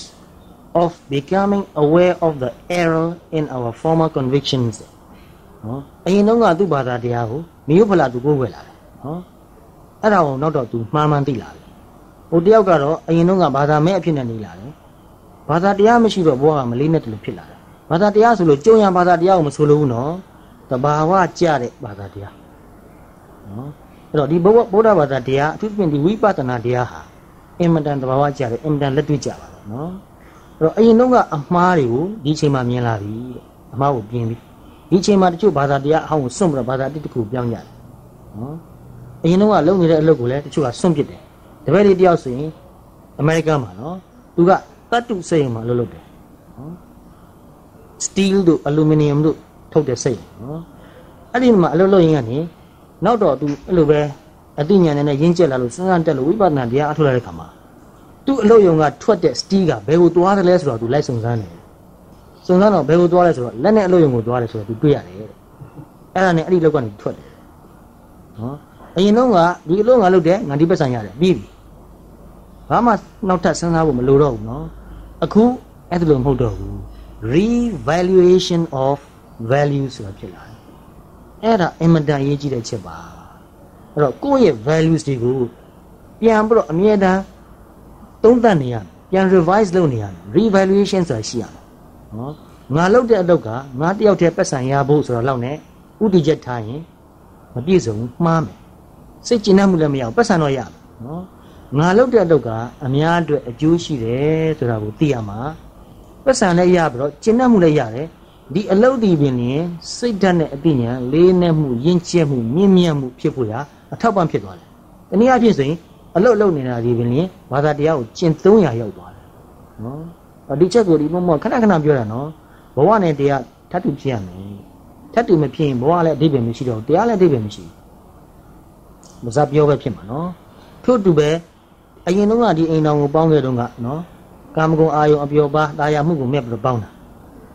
အခုချိန်မှာတကယ်စစ်မှန်တဲ့မေတ္တာကရုဏာနဲ့ပေါင်းတယ်ဒီချိန်မှာအသက်ကကြီးကုန်ပြီနော်ဘာမှရုပ်ရည်ဆိုတာလဲဟိုပိတ်မဲ့เสียမရှိတော့ပါဘူးရုပ်ရည်သာတမိုးထားရမယ်ဒီချိန်မှာမဲ့เสียမရှိတော့ဘူးနော်ဟိုပြီ40ကျော်50ကျော်ဆိုတာနော်ဒါပေမဲ့ အဲ့ဒီအချိန်မှာဒီမိန်းမကိုပြန်ပေါင်းနေဆိုတာက တကယ်ကိုစစ်မှန်တဲ့မေတ္တာကရုဏာနော်တကယ်မေတ္တာသူ့ကိုငါလိုပဲအေးချမ်းသွားစေခြင်းလေနော်ငါနဲ့အတူတူတစ်သက်လုံးနေလာတာတာသမီတွေရလာတာနော်အဲ့တော့ကိုဘဝအဖို့ကိုကျေးဇူးရှင်ဆိုလဲဟုတ်တယ်နော်ဘုရားတယောက်နဲ့တယောက်ကျေးဇူးရှိကြတာနော်အဲ့လိုကျေးဇူးတွေကိုသိလာတယ်ကိုချင်းစာတက်လာပြီးတော့အင်မတန်မြင့်မြတ်တဲ့သဘောထားနဲ့ပြန်ပေါင်းတာနော်အဲ့တော့ကွဲပြီးမှပြန်ပေါင်းတာကတော့ဒါပို့ပြီးတော့တိတာသွားတာပေါ့နော်မကွဲဘဲနဲ့ဒီတိုင်းနေသွားတဲ့သူဒီမှာလည်းပဲ ဒီအချိန်ကျရင်ပြန်သုံးတတ်ဖို့ကောင်းပါလေနော်ငါသူ့စီကဘာမျောလဲနေတယ်သူ့ဘယ်လိုဖြစ်စေချင်လဲငါအမြဲတမ်းနိုင်နေရမယ်သူလားလွှမ်းမိုးနေရမယ်သူလားနော်ငါနှိမ့်ဆက်တာကိုခံနေရမယ်သူလားမဟုတ်ဘူးသူကလည်းငါလူသားတယောက်နော်သူအသိဉာဏ်နဲ့သူဟာသူသူ့ဘဝကိုယက်တီပြီးလွတ်လွတ်လပ်ချမ်းသာနေသွားနိုင်မယ်ဆိုရင်သူ့အတွက်အကောင်းဆုံးဖြစ်မယ်နော်အဲ့တော့အဲ့ဒီချိန်မှာကိုယ့်အတွက်အကောင်းဆုံးကိုမစဉ်းစားတော့ဘူးနော်သူ့အတွက်အကောင်းဆုံးဘာဖြစ်မလဲဆိုတာစဉ်းစားတာ အဲ့ဒါမေတ္တာပဲနော်အဲ့တော့ဒီအချိန်မှာမှမေတ္တာအစ်စ်ဆိုတာဖြစ်လာတယ်နော်ပို့ပြီးတော့လင်းနေသွားတယ်အဲ့ဒါဒကာကြီးတောက်ကပြောဘူးတယ်ပြောဘူးတာမဟုတ်ပါဖတ်ဖူးတာပါသူ့အကြောင်းသူရေးထားတာငယ်ငယ်တုန်းကတဲ့အသက်20ကျော်တုန်းကနော်ငယ်ငယ်ရွယ်တဲ့သူအချင်းချင်းချစ်တယ်ဆိုတာနဲ့တဲ့အခု80ကျော်80ကျော်ဖြစ်လာတဲ့အချိန်မှာတယောက်နဲ့တယောက်ချစ်တာမတူပါဘူးတဲ့အခုချစ်တာကပို့ပြီးတော့လင်းနေပါတယ်နော်အဲ့တော့ များသောအားဖြင့်ငယ်ငယ်တုန်းကချစ်တယ်လို့လို့ဖြစ်ပြီးတော့ကြီးလာလေလေမချစ်လေလေကြီးလာလေလေမချစ်လေလေနောက်ဆုံးဒီဆက်ဆံရေးဒီအင်တော်ကြီးကလုံးဝအတိတ်ပဲမရှိလို့ဖြစ်သွားတာတွေကအများကြီးရှိတယ်နော်အဲ့လိုမဖြစ်သင့်ဘူးကြီးလာလေလေအတိတ်ပဲရှိလေလေကြီးလာလေလေချစ်လေလေဖြစ်ရမယ်နော်ဒါမှကျင့်တတ်မှုလည်းရပါရမီဖြည့်ဘက်ဖြစ်သွားစေချင်တာနော်ဒါကိုနည်းနည်းနည်းစဉ်းစားစေချင်တယ်နော်သူနဲ့ငါနဲ့ကပါရမီဖြည့်ဘက်ပါကိုယ့်အထက်လျောက်ကိုယ့်အကိုတော့ပါရမီဖြည့်နေကြတာကြီးပါပဲနော် အဲ့တော့ဒီအချိန်မှာအဲ့ဒါကိုစဉ်းစားဖို့လိုပြီတဲ့နော် of recognizing the falsehood in what had before been truth အရင်တော့ကမှန်တယ်လို့ထင်ခဲ့တာကိုအခုချိန်မှာမှားမှန်သိပြီအများကြီးရှိမှာနော်အရင်တော့ကမှန်ငယ်မှန်တယ်လို့ထင်ခဲ့တာတွေတော်တော်များများအခုချိန်မှာမှားမှန်သိတာတွေရှိမှာပါနော် and even hostility lay in that uh, uh, and of feeling how much resistance and even hostility lay in that which we had till now accepted as love အရင်တော့ကချစ်တယ်လို့ထင်ခဲ့တာနော်အရင်တော့ကချစ်လို့ထင်ခဲ့တာအနံယူခြင်းတဲ့သဘောတွေပါနေနော်ချုပ်ချယ်ခြင်းတဲ့သဘောတွေပါနေနော်ရန်လိုတဲ့သဘောတောင်ပါတယ်တချို့ဆိုရိုက်တယ်နှက်တယ်နော်တကယ်ကိုအသက်သခင်လို့ဖြစ်နေတာနော်တဲ့ဥစ္စာမိုင်းလို့ဖြစ်နေတာနော်အဲ့ဒါတွေကိုပြန်မြင်လာပြီးတော့ငါမှားတယ်အဲ့ဒါချစ်တာမဟုတ် ဒီလိုသဘောပေါက်သွားတာနော်တကယ်လေးနဲ့ဆင်ញင်ကြည့်ရင်ဒါသဘောပေါက်ဖို့ရဘာမှမခက်ဘူးနော်အဲ့တော့ဒီအချိန်မှာစဉ်းစားဖို့တင်ပြီနော်ဒီအချိန်မှာမှမစဉ်းစားသေးဘူးဆိုရင်ရှေ့မှာအများကြီးဒုက္ခတွေ့နေနော်ကိုယ့်ရဲ့ငကိုကထားခဲ့တဲ့သဘောထားတွေနဲ့တန်ဖိုးထားခဲ့တဲ့ values တွေကိုမပြင်လို့ရှိရင်နည်းနည်းအသက်ကြီးလာရင်ကြာလီဘောဟာအတိတ်ပဲမဲ့လေဖြစ်ရတယ်ကြာလီမေတ္တာတွေခန်းချောက်လေဖြစ်ရတယ်ကြာရင်စေယောဂဖြစ်တယ်နော် အဲ့တော့ thoroughly unprepared we take the step into the afternoon of life ဘဝရဲ့မွန်လွဲခြင်းကိုဘာမှကြိုတင်ပြင်ဆင်မှုမပါဘဲနဲ့တခါတည်းကိုလှမ်းပြီးတော့ဝင်သွားနေတာ was still ဒီတဲ့ပို့ဆိုတာဘာလဲဆိုတော့ we take this step with the with the false presupposition that our truths and ideals will serve us as hitherto ပို့ပြီးတော့ဆိုတာဘာလဲဆိုတော့အရင်တုန်းကသဘောထားအတိုင်းနေသွားလို့ဖြစ်တယ်လို့ထင်တာထင်နေတာအဲ့ဒါပို့တော့မှားပါတယ်ဘာမှကြွတင်ပြင်ဆင်မှုမရှိဘူးအရင်တုန်းကလိုပဲဂုံပကာသနာအပျော်ပါဒါဟုပဲတန်ဖိုးထားပြီးတော့ဆက်ပြီးတော့နေသွားရင်ဖြစ်နိုင်သေးတယ်လို့ထင်တာတဲ့အဲ့ဒါပိုမှားပါတယ်နော် but we cannot live the afternoon of life according to the program of life's morning နော် ဘဝမနေ့ခင်းတုန်းကထားခဲ့တဲ့အစီအစဉ် program အတိုင်းဘဝမွန်လွဲချိန်မှာဆက်ပြီးတော့နေသွားလို့မဖြစ်ပါဘူးနော် for what was great in the morning will be little at evening မနေ့ပိုင်းတုန်းကအင်တန်ကြီးကျယ်တယ်ဆိုတဲ့ကိစ္စဟာမွန်းလဲသွားတဲ့ချိန်မှာဘာမှအရေးမကြီးတော့ဘူးနော်ဟိုဆရာဝန်ကြီးဆိုဘွဲ့တိတ်အရေးကြီးတယ်သူတိတ်ကြိုးစားပြီးတော့တကယ်ထိတ်ကိုရောက်သွားတယ်ပတ်စံရှာလိုက်တဲ့ပတ်စံအင်တန်ချမ်းသာတဲ့တထေးဖြစ်လာတာနော်ဒါပေမဲ့ ဘုရားအတိတ်ပဲမရှိဘူးဘာဖြစ်လို့လဲဆိုတော့မနဲ့ခင်းတော့က values အတိုင်းမွန်လွဲချိန်မှာသူတွားနေတယ်ဆက်သွားလို့မဖြစ်တော့ဘူးမရဘူးနော် and what in the morning was true will at the evening have become a lie မနဲ့တုန်းကအမှန်ဟာမွန်လွဲပိုင်းကြတော့အဲ့ဒါအမှားဖြစ်သွားပြီနော်ဘာလို့ဆိုခုနပြောသလိုပဲနော်တယောက်နဲ့တယောက်ဟန်ဆောင်ပြီးတော့တယောက်ကြိုက်တယောက်လိုက်ပြီးတော့ ငငယ်ရွယ်မှာချစ်ကြကြကြအိမ်တော်ပြုကြနော်ဖုံးထားကြတာနော်ကို့အကြောင်းသူမသိအောင်သူ့အကြောင်းကိုမသိအောင်ဖုံးပြီးတော့သူမြင်ချင်တာလောက်ကလေးပဲပြလိုက်တယ်နော်သူအကြိုက်ကလေးပဲလိုက်ပြောတယ်နှစ်ပေါင်းများစွာကြာတော့ဖုံးလို့မရတော့ဘူးနော်အတုကြီးကအတုကြီးလို့ပေါ်သွားပြီစိတ်ပြက်သွားရောနော်အဲအဲ့ဒီအချိန်မှာသဘောထားတွေပြင်ကြဖို့လိုတယ်နော်အေးသူအဲ့လိုသဘောထားနေကြတာမှန်တယ်အခုအချိန်မှာတော့နော်တယောက်ကိုတယောက်နားလဲဘူး တကယ်ကိုချင်းစာဘူးတကယ်မေတ္တာကရုဏာထားဘူးတကယ်ရိုးရိုးသားသားယုံကြည်ကြည်ဆက်ဆံဘူးတယောက်ရဲ့အသိဉာဏ်ယဉ်ကျေးမှုနော်စိတ်ချမ်းသာမှုလွတ်မြောက်မှုအတွက်တယောက်အထောက်အကူပေးကြစို့အဲ့လိုပြောင်းသွားမှသာနော်အစစ်အမှန်ဖြစ်သွားမှာနော် The development of culture is a process which consists, as we know, of a progressive taming of the animal side of man. Animal side of man လို့သုံးထားတာနော်လူမှာနှစ်ပိုင်းရှိတယ်နော် human side နဲ့ animal side နှစ်ပိုင်းရှိပါတယ်နော်အခုအဘိဓမ္မာတွေပါလေ့လာဖို့ရင်တွေ့မှာနော်စေတသိက်တွေကြည့်နှစ်ပိုင်းခွဲထားတယ်နော်သောဗနစေတသိက်ကတစ်ပိုင်းနော်အသောဗနစေတသိက်ကတစ်ပိုင်းရှိတယ်နော်လောဘဒေါသမောဟတော့ပါပြီသားနော် မာနအိတ်တမစ္စည်းဩဒိစ္စကုက္ကုစထိနာမိတဝိသိကိစ္စအာအများကြီးပဲနော်ဟောကောင်းတဲ့ဘက်ကကျင်မေတ္တာကရုဏာနော်တတိတမာတိပညာတဒါဟိရိဩတ္တပအများကြီးပဲအကောင်းနေရှိတယ်နော်နှစ်ပိုင်းရှိတယ်နော်အဲ့တော့များသောအားဖြင့်ငငယ်တုန်းမှာပဝန်းကျင်တန်းကဘာကိုအားပေးလိုက်တယ်လဲဆိုတော့လောဘကြီးကြီးနဲ့လှုပ်ဖို့ခံကိုအားပေးပါလေနော်လောဘဆိုတော့လုံးဝကင်းသွားရမယ်လို့တော့မျောနေလို့မဖြစ်ဘူးမွေးမွေးချင်းဒါမှဖြစ်နိုင်ဘူး နော်ဒါပေမဲ့အသိဉာဏ်လေးနဲ့ထိမ့်သိမ့်ဖို့တော့လိုတယ်နော်အဲ့တော့ culture ဆိုတာနော် the development of culture ယဉ်ကျေးမှုဆိုတာဘာလဲဆိုတော့လူရဲ့အဲ့ဒီ animal side ကို taming လုပ်တာနော်တိရစ္ဆာန်နဲ့တူနေတဲ့အပိုင်းကိုသူ့ကိုယဉ်ကျေးတင်မွေ့တော့သွားအောင်သူ့ကိုထိမ့်သိမ့်ပြုပြင်တာဒီပိုင်းနော်ပြီးတော့ human side ကိုအားပိုကောင်းလာအောင်နော်လေ့ကျင့်ပြုစုပြောထောင်လာ ဒါယဉ်ကျေးမှုအဲ့တော့ယဉ်ကျေးမှုဆိုတာဟိုယဉ်ကျေးမှုဌာနကလုပ်ပေးမယ်လို့မထင်နဲ့နော်ယဉ်ကျေးမှုဆိုတာဘာလဲ what is culture နော်ယဉ်ကျေးမှုဆိုတာဘာလဲနော်အဲ့တော့ the interpretation of culture ဆိုတဲ့ကျမ်းတစ်ကျမ်းပုံပုံဖတ်ဘူးနော်ဟိုနိုင်ငံခြားအမေရိကန်က anthropologist တယောက်ကပို့ပေးလိုက်တာ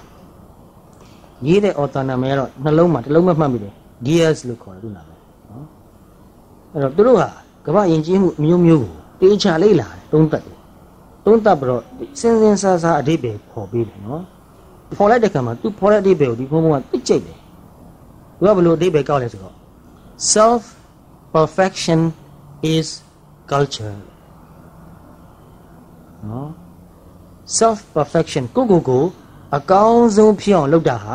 ယဉ်ကျေးမှုပါတဲ့အဲ့တော့လူတိုင်းကိုကိုကိုလုပ်ယူရမှာနော်ယဉ်ကျေးမှုဌာနကြီးတိဆောက်ထားပြီးတော့ ကရာတွေတီတာတွေတီးဆိုတာတွေမှုတ်တာတွေပပုတွေပကြီးတွေဒါလောက်နဲ့ယဉ်ကျေးမှုမဟုတ်သေးပါဘူးနော်လူစိတ်ဓာတ်ကို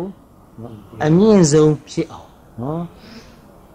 မြင့်မြတ်မှုအဆင့်မှာလည်းအမြင့်ဆုံးအသိဉာဏ်ပိုင်းမှာလည်းပဲအမြင့်ဆုံးရောက်အောင်လုပ်တာကြိုးစားတာယဉ်ကျေးမှုပါ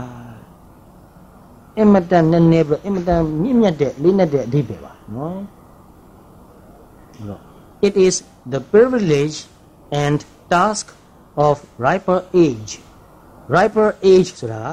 ပို့ပြီးတော့ရင့်ကျက်တဲ့အသက်အရွယ်နော် riper ဆိုတာ relatively တွားနေမှာပဲနော်ဒီတခါကြီးနဲ့ဆိုင်ဟိုတခါကြီးက riper လို့ပြောလို့ရတာပဲဒီတခါကြီးနဲ့ဆိုင်တော့ဒီတခါကြီးက riper လို့ပြောလို့ရတာနော်အဲ့တော့ပို့ပြီးတော့အသက်အရွယ်ကြီးလာတဲ့အချိန်မှာလူမှာအခွင့်အရေးတစ်ခုနဲ့တာဝန်တစ်ခုရှိတယ်တဲ့နော်အဲ့ဒါဘာလို့ဆိုတော့ it is the privilege and task of riper age that has passed the meridian of life meridian ဆိုတာမွန်းတဲ့ချိန်နော်မွန်းတဲ့ချိန်လွန်သွားတဲ့အရွယ်မှာအထူးသဖြင့်ဒီတာဝန်ရှိလာပြီနော်အဲ့ဒါဘာလဲဆိုတော့ to produce culture အဲ့ to produce culture ဆိုတဲ့အဓိပ္ပာယ်ဘယ်လိုသွားကောက်လဲမကြည်ဆွဲတာဗပုထုတော်ပြောမှာမွေးလို့တယ်အင်းသူပြောချင်တာကဒီအချိန်မှာစိတ်ဓာတ်နဲ့အသိဉာဏ်ဟာအကောင်းဆုံးဖြစ်အောင်မွေးယူရမယ်မွေးမြူတာကို culture လို့ခေါ်တယ် နော် cultivate လုပ်တာနော် culture လို့ခေါ်တယ်နော်အဲ့တော့အဲ့ဒီအချိန်မှာလေးနဲ့တဲ့အသိဉာဏ်နော်မြင့်မြတ်တဲ့စိတ်ထားနဲ့ကိုကနေသွားနိုင်လို့ရှိရင်ဒီအမွေကိုနောင်လာသားကိုပေးနိုင်တယ်နော်အကယ်၍ဒီအချိန်မှာလည်းပဲလူငယ်တွေနဲ့နေတူနော်တောက်စားမူယူပျော်ပါနေမယ်ဆိုလူငယ်တွေကိုဘာအမွေပေးမလဲဘာမှပွေးပေးစရာအမွေမရှိတော့ဘူးအဲ့တော့ဒီလူငယ်တွေကြည့်လိုက်တဲ့အခါယဉ်ကျေးတဲ့သူတွေဖြစ်မလားဖြစ်နိုင်တော့ဘူးနော်အဲ့တော့ ဒါဟာလူကြီးတွေရဲ့အခွင့်အရေးတစ်ခုလည်းဖြစ်တယ်လို့တာဝန်တစ်ခုလည်းဖြစ်ပါတယ်နော်လောက်ခွင့်ရတယ်ဒီချိန်မှာကိုကသိနေပြီအများကြီးသိနေပြီနော်ငယ်ငယ်တုန်းကလောက်ရင်တော့ရမလားဆိုတော့အသင့်တင်တော့ရတယ်နော်အသိဉာဏ်နုနယ်သေးတယ်ဘဝအတွေ့အကြုံနည်းသေးတယ်နော်ဒါပေမဲ့အသက်အရွယ်နည်းနည်းကြီးလာတဲ့ခါမှာဘဝအတွေ့အကြုံနဲ့များလာတဲ့ခါမှာနော်တရားနဲ့ပတ်သက်တဲ့ဟိုပရိယတ်တိဘဟုတလည်းပဲတော်တော်များလာမယ်ကိုယ်တိုင်ပွားများအားထုတ်လို့ ပฏิပတ်နဲ့ပတ်သက်တဲ့အသိဉာဏ်လည်းပဲတော်တော်လေးရင့်ကျက်လာတဲ့ခါမှာ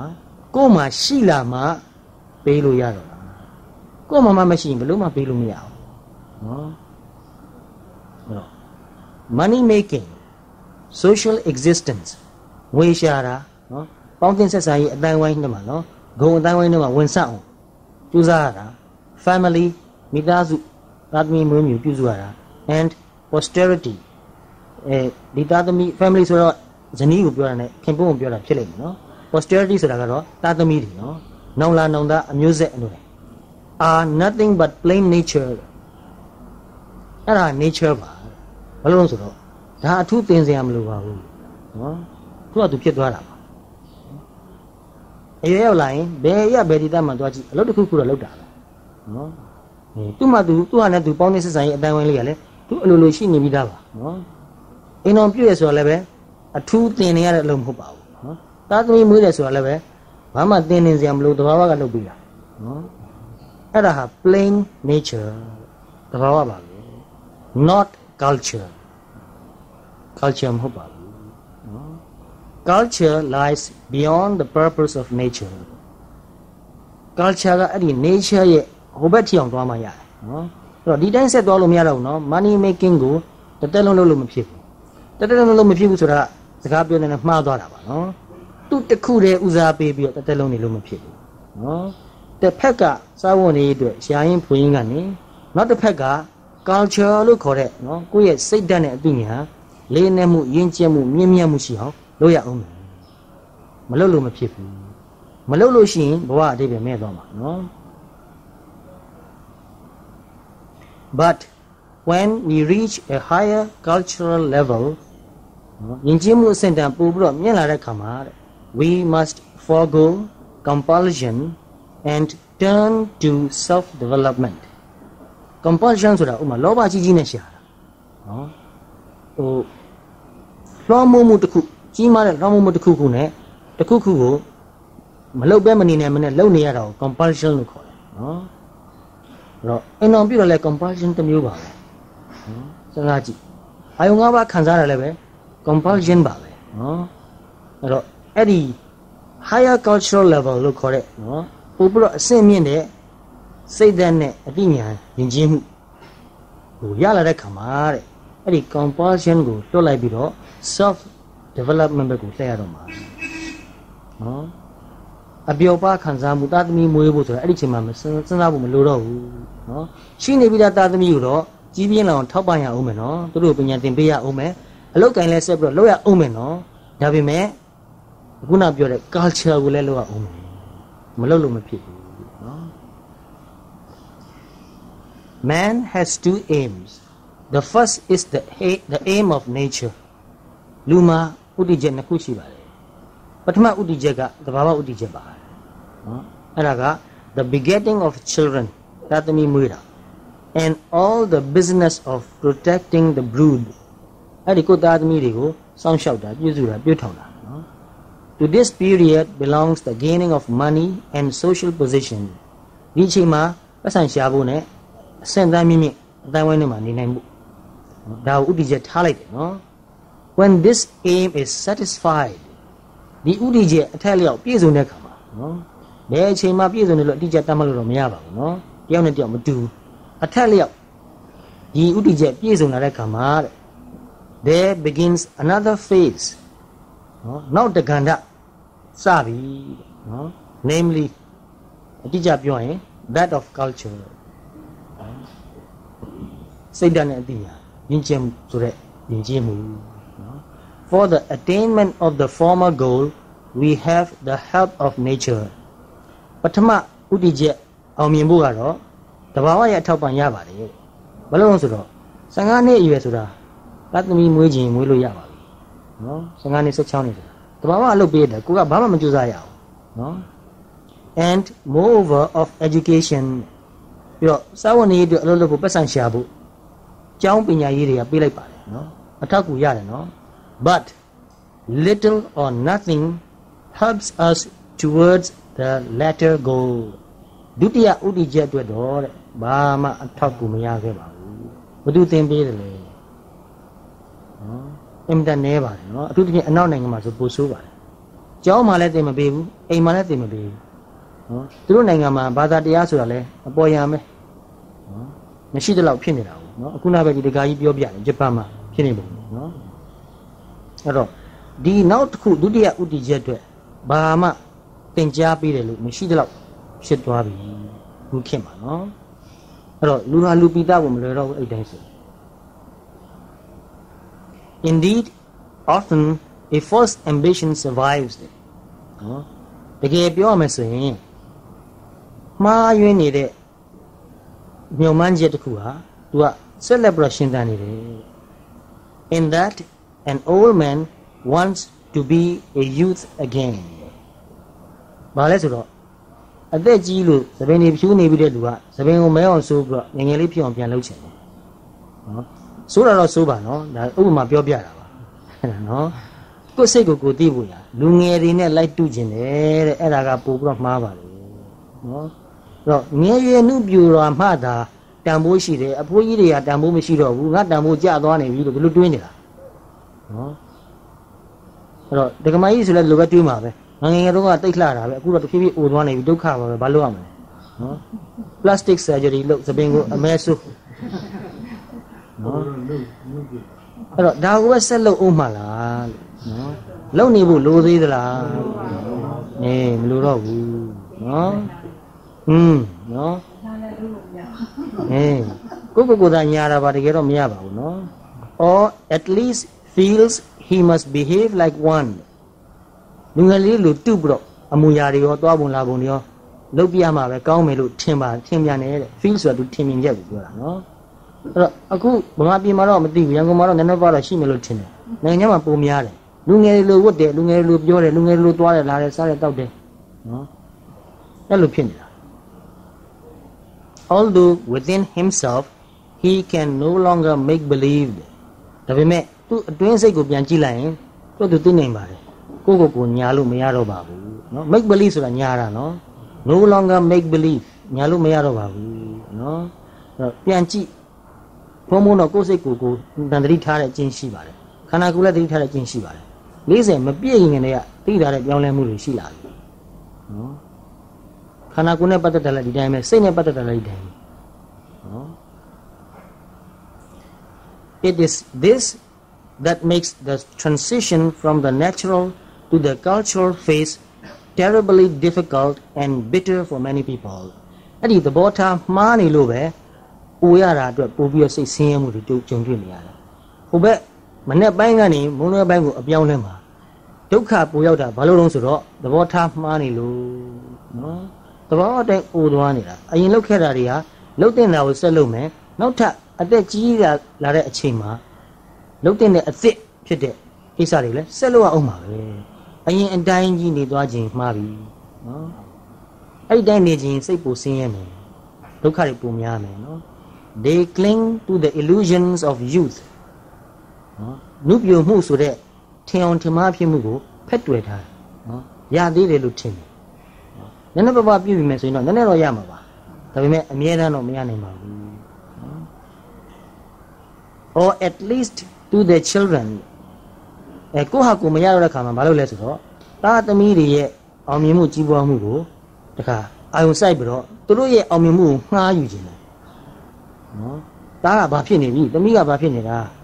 နော်သူ့စီကနေအတိတ်ပဲကိုငှားယူတာနော်ကို့မှာကိုယ်ပိုင်ဘဝအတိတ်ပဲမရှိတော့ဘူး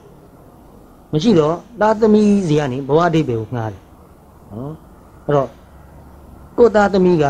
ဂုံရှိရှိအစင်တန်းမြင့်မြင့် လောက်ကင်နိုင်မယ်နေနိုင်မယ်ဆိုရင်အဲအဲ့ဒါသူကြွားတော့မှာမိဘနော်အဲ့ဒါတွေမျောလင့်နေနော်တချို့မိဘတွေအဲ့လိုမျောလင့်တာတွေ့ရတယ်နော်မျောလင့်တော့သားသမီးငယ်ငယ်လေးကအတင်းသူသားသမီး pressure ပေးတယ်နော်သူ့ဘဝသူ intelligent နဲ့သူလာကြတာပါနော်စူးစမ်းတာတော့ကောင်းပါတယ်ဒါပေမဲ့မနိုင်မနှင်းကြီးတာဝန်ပေးတဲ့ခါကျတော့တချို့ကလေးတွေက break down ဖြစ်သွားတယ် nervous breakdown ဖြစ်တယ်နော်စိတ်မမှန်တော့တဲ့အဖြစ်မျိုးရောက်သွားတယ်ရှိတယ်နော် တချို့တော့အဲ့လောက်ထိအောင်မဖြစ်ပါဘူးဒါပေမဲ့မအောင်မြင်ဘူးဆိုတော့မအောင်မြင်ဆိုမိဘတွေမျှော်လင့်တဲ့လောက်မဖြစ်ဘူးဆိုတော့မဖြစ်တဲ့ခါမှာတာသမီးကို reject လုပ်တယ်နင်တို့အလကားပဲတော့မကြောက်နင်တို့ငါ့ဘဝကိုအတိတ်ပဲရှိအောင်မလုပ်ပေးကြဘူးနော်ကိုယ့်ဘဝကိုသူများအတိတ်ပဲရှိအောင်လုပ်ပေးလို့မရပါဘူးနော်ကိုယ့်ဘဝကိုကိုယ့်ဟာကိုယ်အတိတ်ပဲရှိအောင်လုံးမရတယ်နော်ပြင်ပကဘယ်သူမှလုပ်ပေးလို့မရဘူးကိုယ့်ကိုသူများစိတ်ချမ်းသာအောင်လုပ်ပေးလို့မရဘူးနော်ကိုယ့်ဟာကိုယ်စိတ်ချမ်းသာအောင်နေမှရတယ်နော်အဲ့တော့ အဲ့ဒါလို့ကိုယ့်ဘဝမှာကိုယ့်ဟာကိုယ်အတိတ်ပဲရှိအောင်မနေနိုင်တဲ့အဲ့ဒီ40ကျော်50ကျော်စသည်ဖြင့်ရောက်နေတဲ့မိဘတွေသားသမီးရဲ့ဘဝကိုမှီပြီးတော့နေခြင်းတယ်တဲ့သားသမီးကိုလည်းလွတ်လောက်ခွင့်မပေးဘူးသူတို့သူကမှီခြင်းတာဟုတ်နော်တော့ဒါတွေကတကယ်ဖြစ်နေတာနော်တချို့နေရာတွေမှာမြင်ရကြတာအင်မတန်တနာဖို့ကောင်းတယ်သားသမီးမှာပေးလိုက်တဲ့ pressure နောက်ဆုံးသားသမီးတွေမခံနိုင်တော့ဘူးနော်အဲ့ဒီကလေးတယောက်ဆိုပြောကိုပြောတယ်သူမိဘကသူ့ကိုတဲ့ ဧည့်သည်လာတိုင်းထုတ်ကြွားနေတာကြီး तू မခံနိုင်ပါဘူးသားသမီးရဲ့အောင်မြင်မှုဟာသားသမီးရဲ့အောင်မြင်မှုပဲဖြစ်ပါစေနော်ကိုကသူတို့အောင်မြင်သွားအောင်ထောက်ပံ့လိုက်တယ်ပြုစုလိုက်ရတာတော့မိဘရဲ့မေတ္တာစေတနာနော်အင်မတန်ကောင်းပါလေနော်ဒါပေမဲ့မငှားပါနဲ့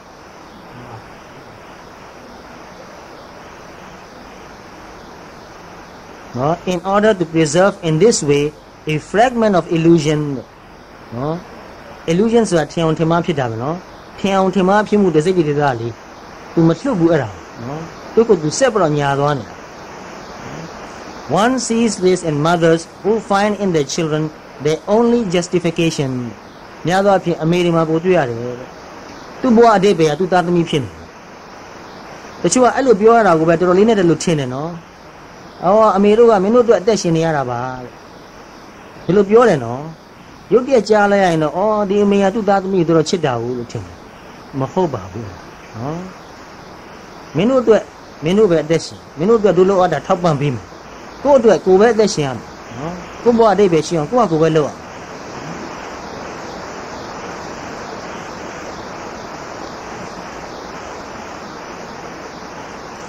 So it is no wonder then that many bad neuroses develop at the beginning of the afternoon of life နော်အဲ့ဒါလို့သဘောထားတွေကမရင်ကျက်တာမမှန်ကန်တာတွေရှိနေတဲ့အတွက်ကြောင့်ဒီအသက်အရွယ်ရောက်လာရင်အချို့လူကြီးတွေမှာစိတ်မမှန်တော့ဘူးနော်အမှုရာတွေမမှန်တော့ဘူးနော်လူဟာအတုအယောင်ကိုဟန်လုပ်ပြီးတော့နေရရင်စိတ်မမှန်တော့ဘူးအမှုရာမမှန်တော့ဘူးနော်စိတ်ယောဂလိုမျိုးဖြစ်လာတယ်နော်အတိတ်ပဲမရှိတာကိုအတုရောင်အတိတ်ပဲနဲ့နေသွားမယ်ဆိုရင် neurosis ဖြစ်တယ်တဲ့ နော်ဒါတော်တော်စဉ်းစားဖို့ကောင်းတယ်နော်စိတ်ယောဂဖြစ်တယ်တဲ့တော့ဒီအချိန်မှာတရားအထုတ်လို့ရှိရင်တော့တရားကြောင့်ကိုယ့်ဘဝအတိတ်ပဲရှိနေပြီနော်ပြင်ပကိုမိခိုးမှုကကြာလေနဲလေဖြစ်လာပါငယ်စဉ်မှာတုန်းကပြင်ပကိုမိခိုးမှုကတော်တော်များတယ်နော်အသက်ကြီးလာလေလေပြင်ပကိုမှမိခိုးမှုကကြာလေနဲလေကြာလေနဲလေကြာလေနဲလေဖြစ်လာမှာနော်ကိုယ့်ဘဝရဲ့အတိတ်ပင်နဲ့ကိုယ့်စိတ်ရဲ့ချမ်းသာမှုဟာကိုယ့်ဣဇဒကိုယ့်ရဲ့အတွင်းတန်တာမှာပဲရှိရမှာ အဲ့လိုဖြစ်လာမှာနော်အဲ့လိုမှမဖြစ်နိုင်ရင်တော့စိတ်ယောဂဖြစ်မယ်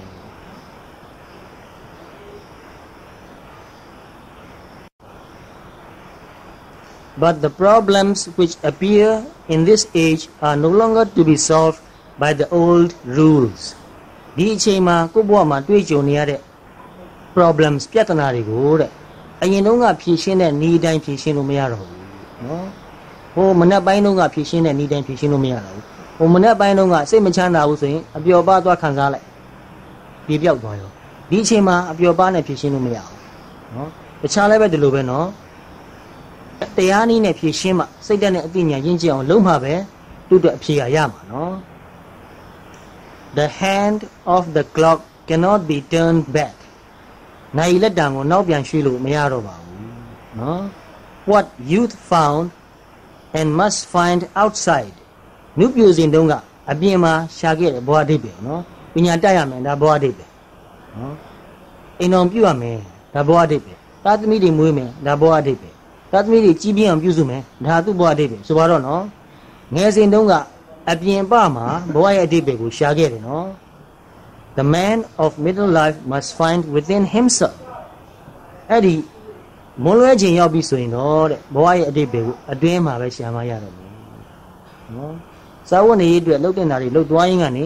တကယ်စစ်မှန်တဲ့ဘဝအတိတ်ပဲကိုတော့အတွင်းမှာပဲရှာရမယ်နော်အဲ့တော့ဒီမှာရှိတဲ့ဒကာကြီးတွေဒကာမကြီးတွေကြီးတဲ့လူတွေရောငယ်တဲ့လူတွေရောအားလုံးပဲတရားအားထုတ်နေကြတဲ့လူတွေဖြစ်တာဆိုတော့ဒါကအထူးပြောစရာတောင်းမှလိုမယ်လို့မထင်ပါဘူးနော်သို့တော်လည်းပဲ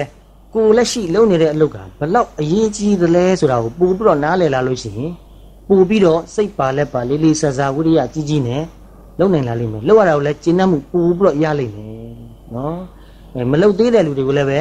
အားပေးစေခြင်းနဲ့နော်နားလည်အောင်သဘောပေါက်အောင်ပြောပြစေခြင်းပါလေဒါသူတို့အမွေပေးခဲ့ရမှာနော်အဲပြောကျင်တာတော့ဒီလောက်နဲ့ပဲရပ်ထားတော့မယ်ဒကာကြီးတို့ပြောကျင်တာမေးကျင်တာရှိရင်နည်းနည်းပါးပါပြောပါဦး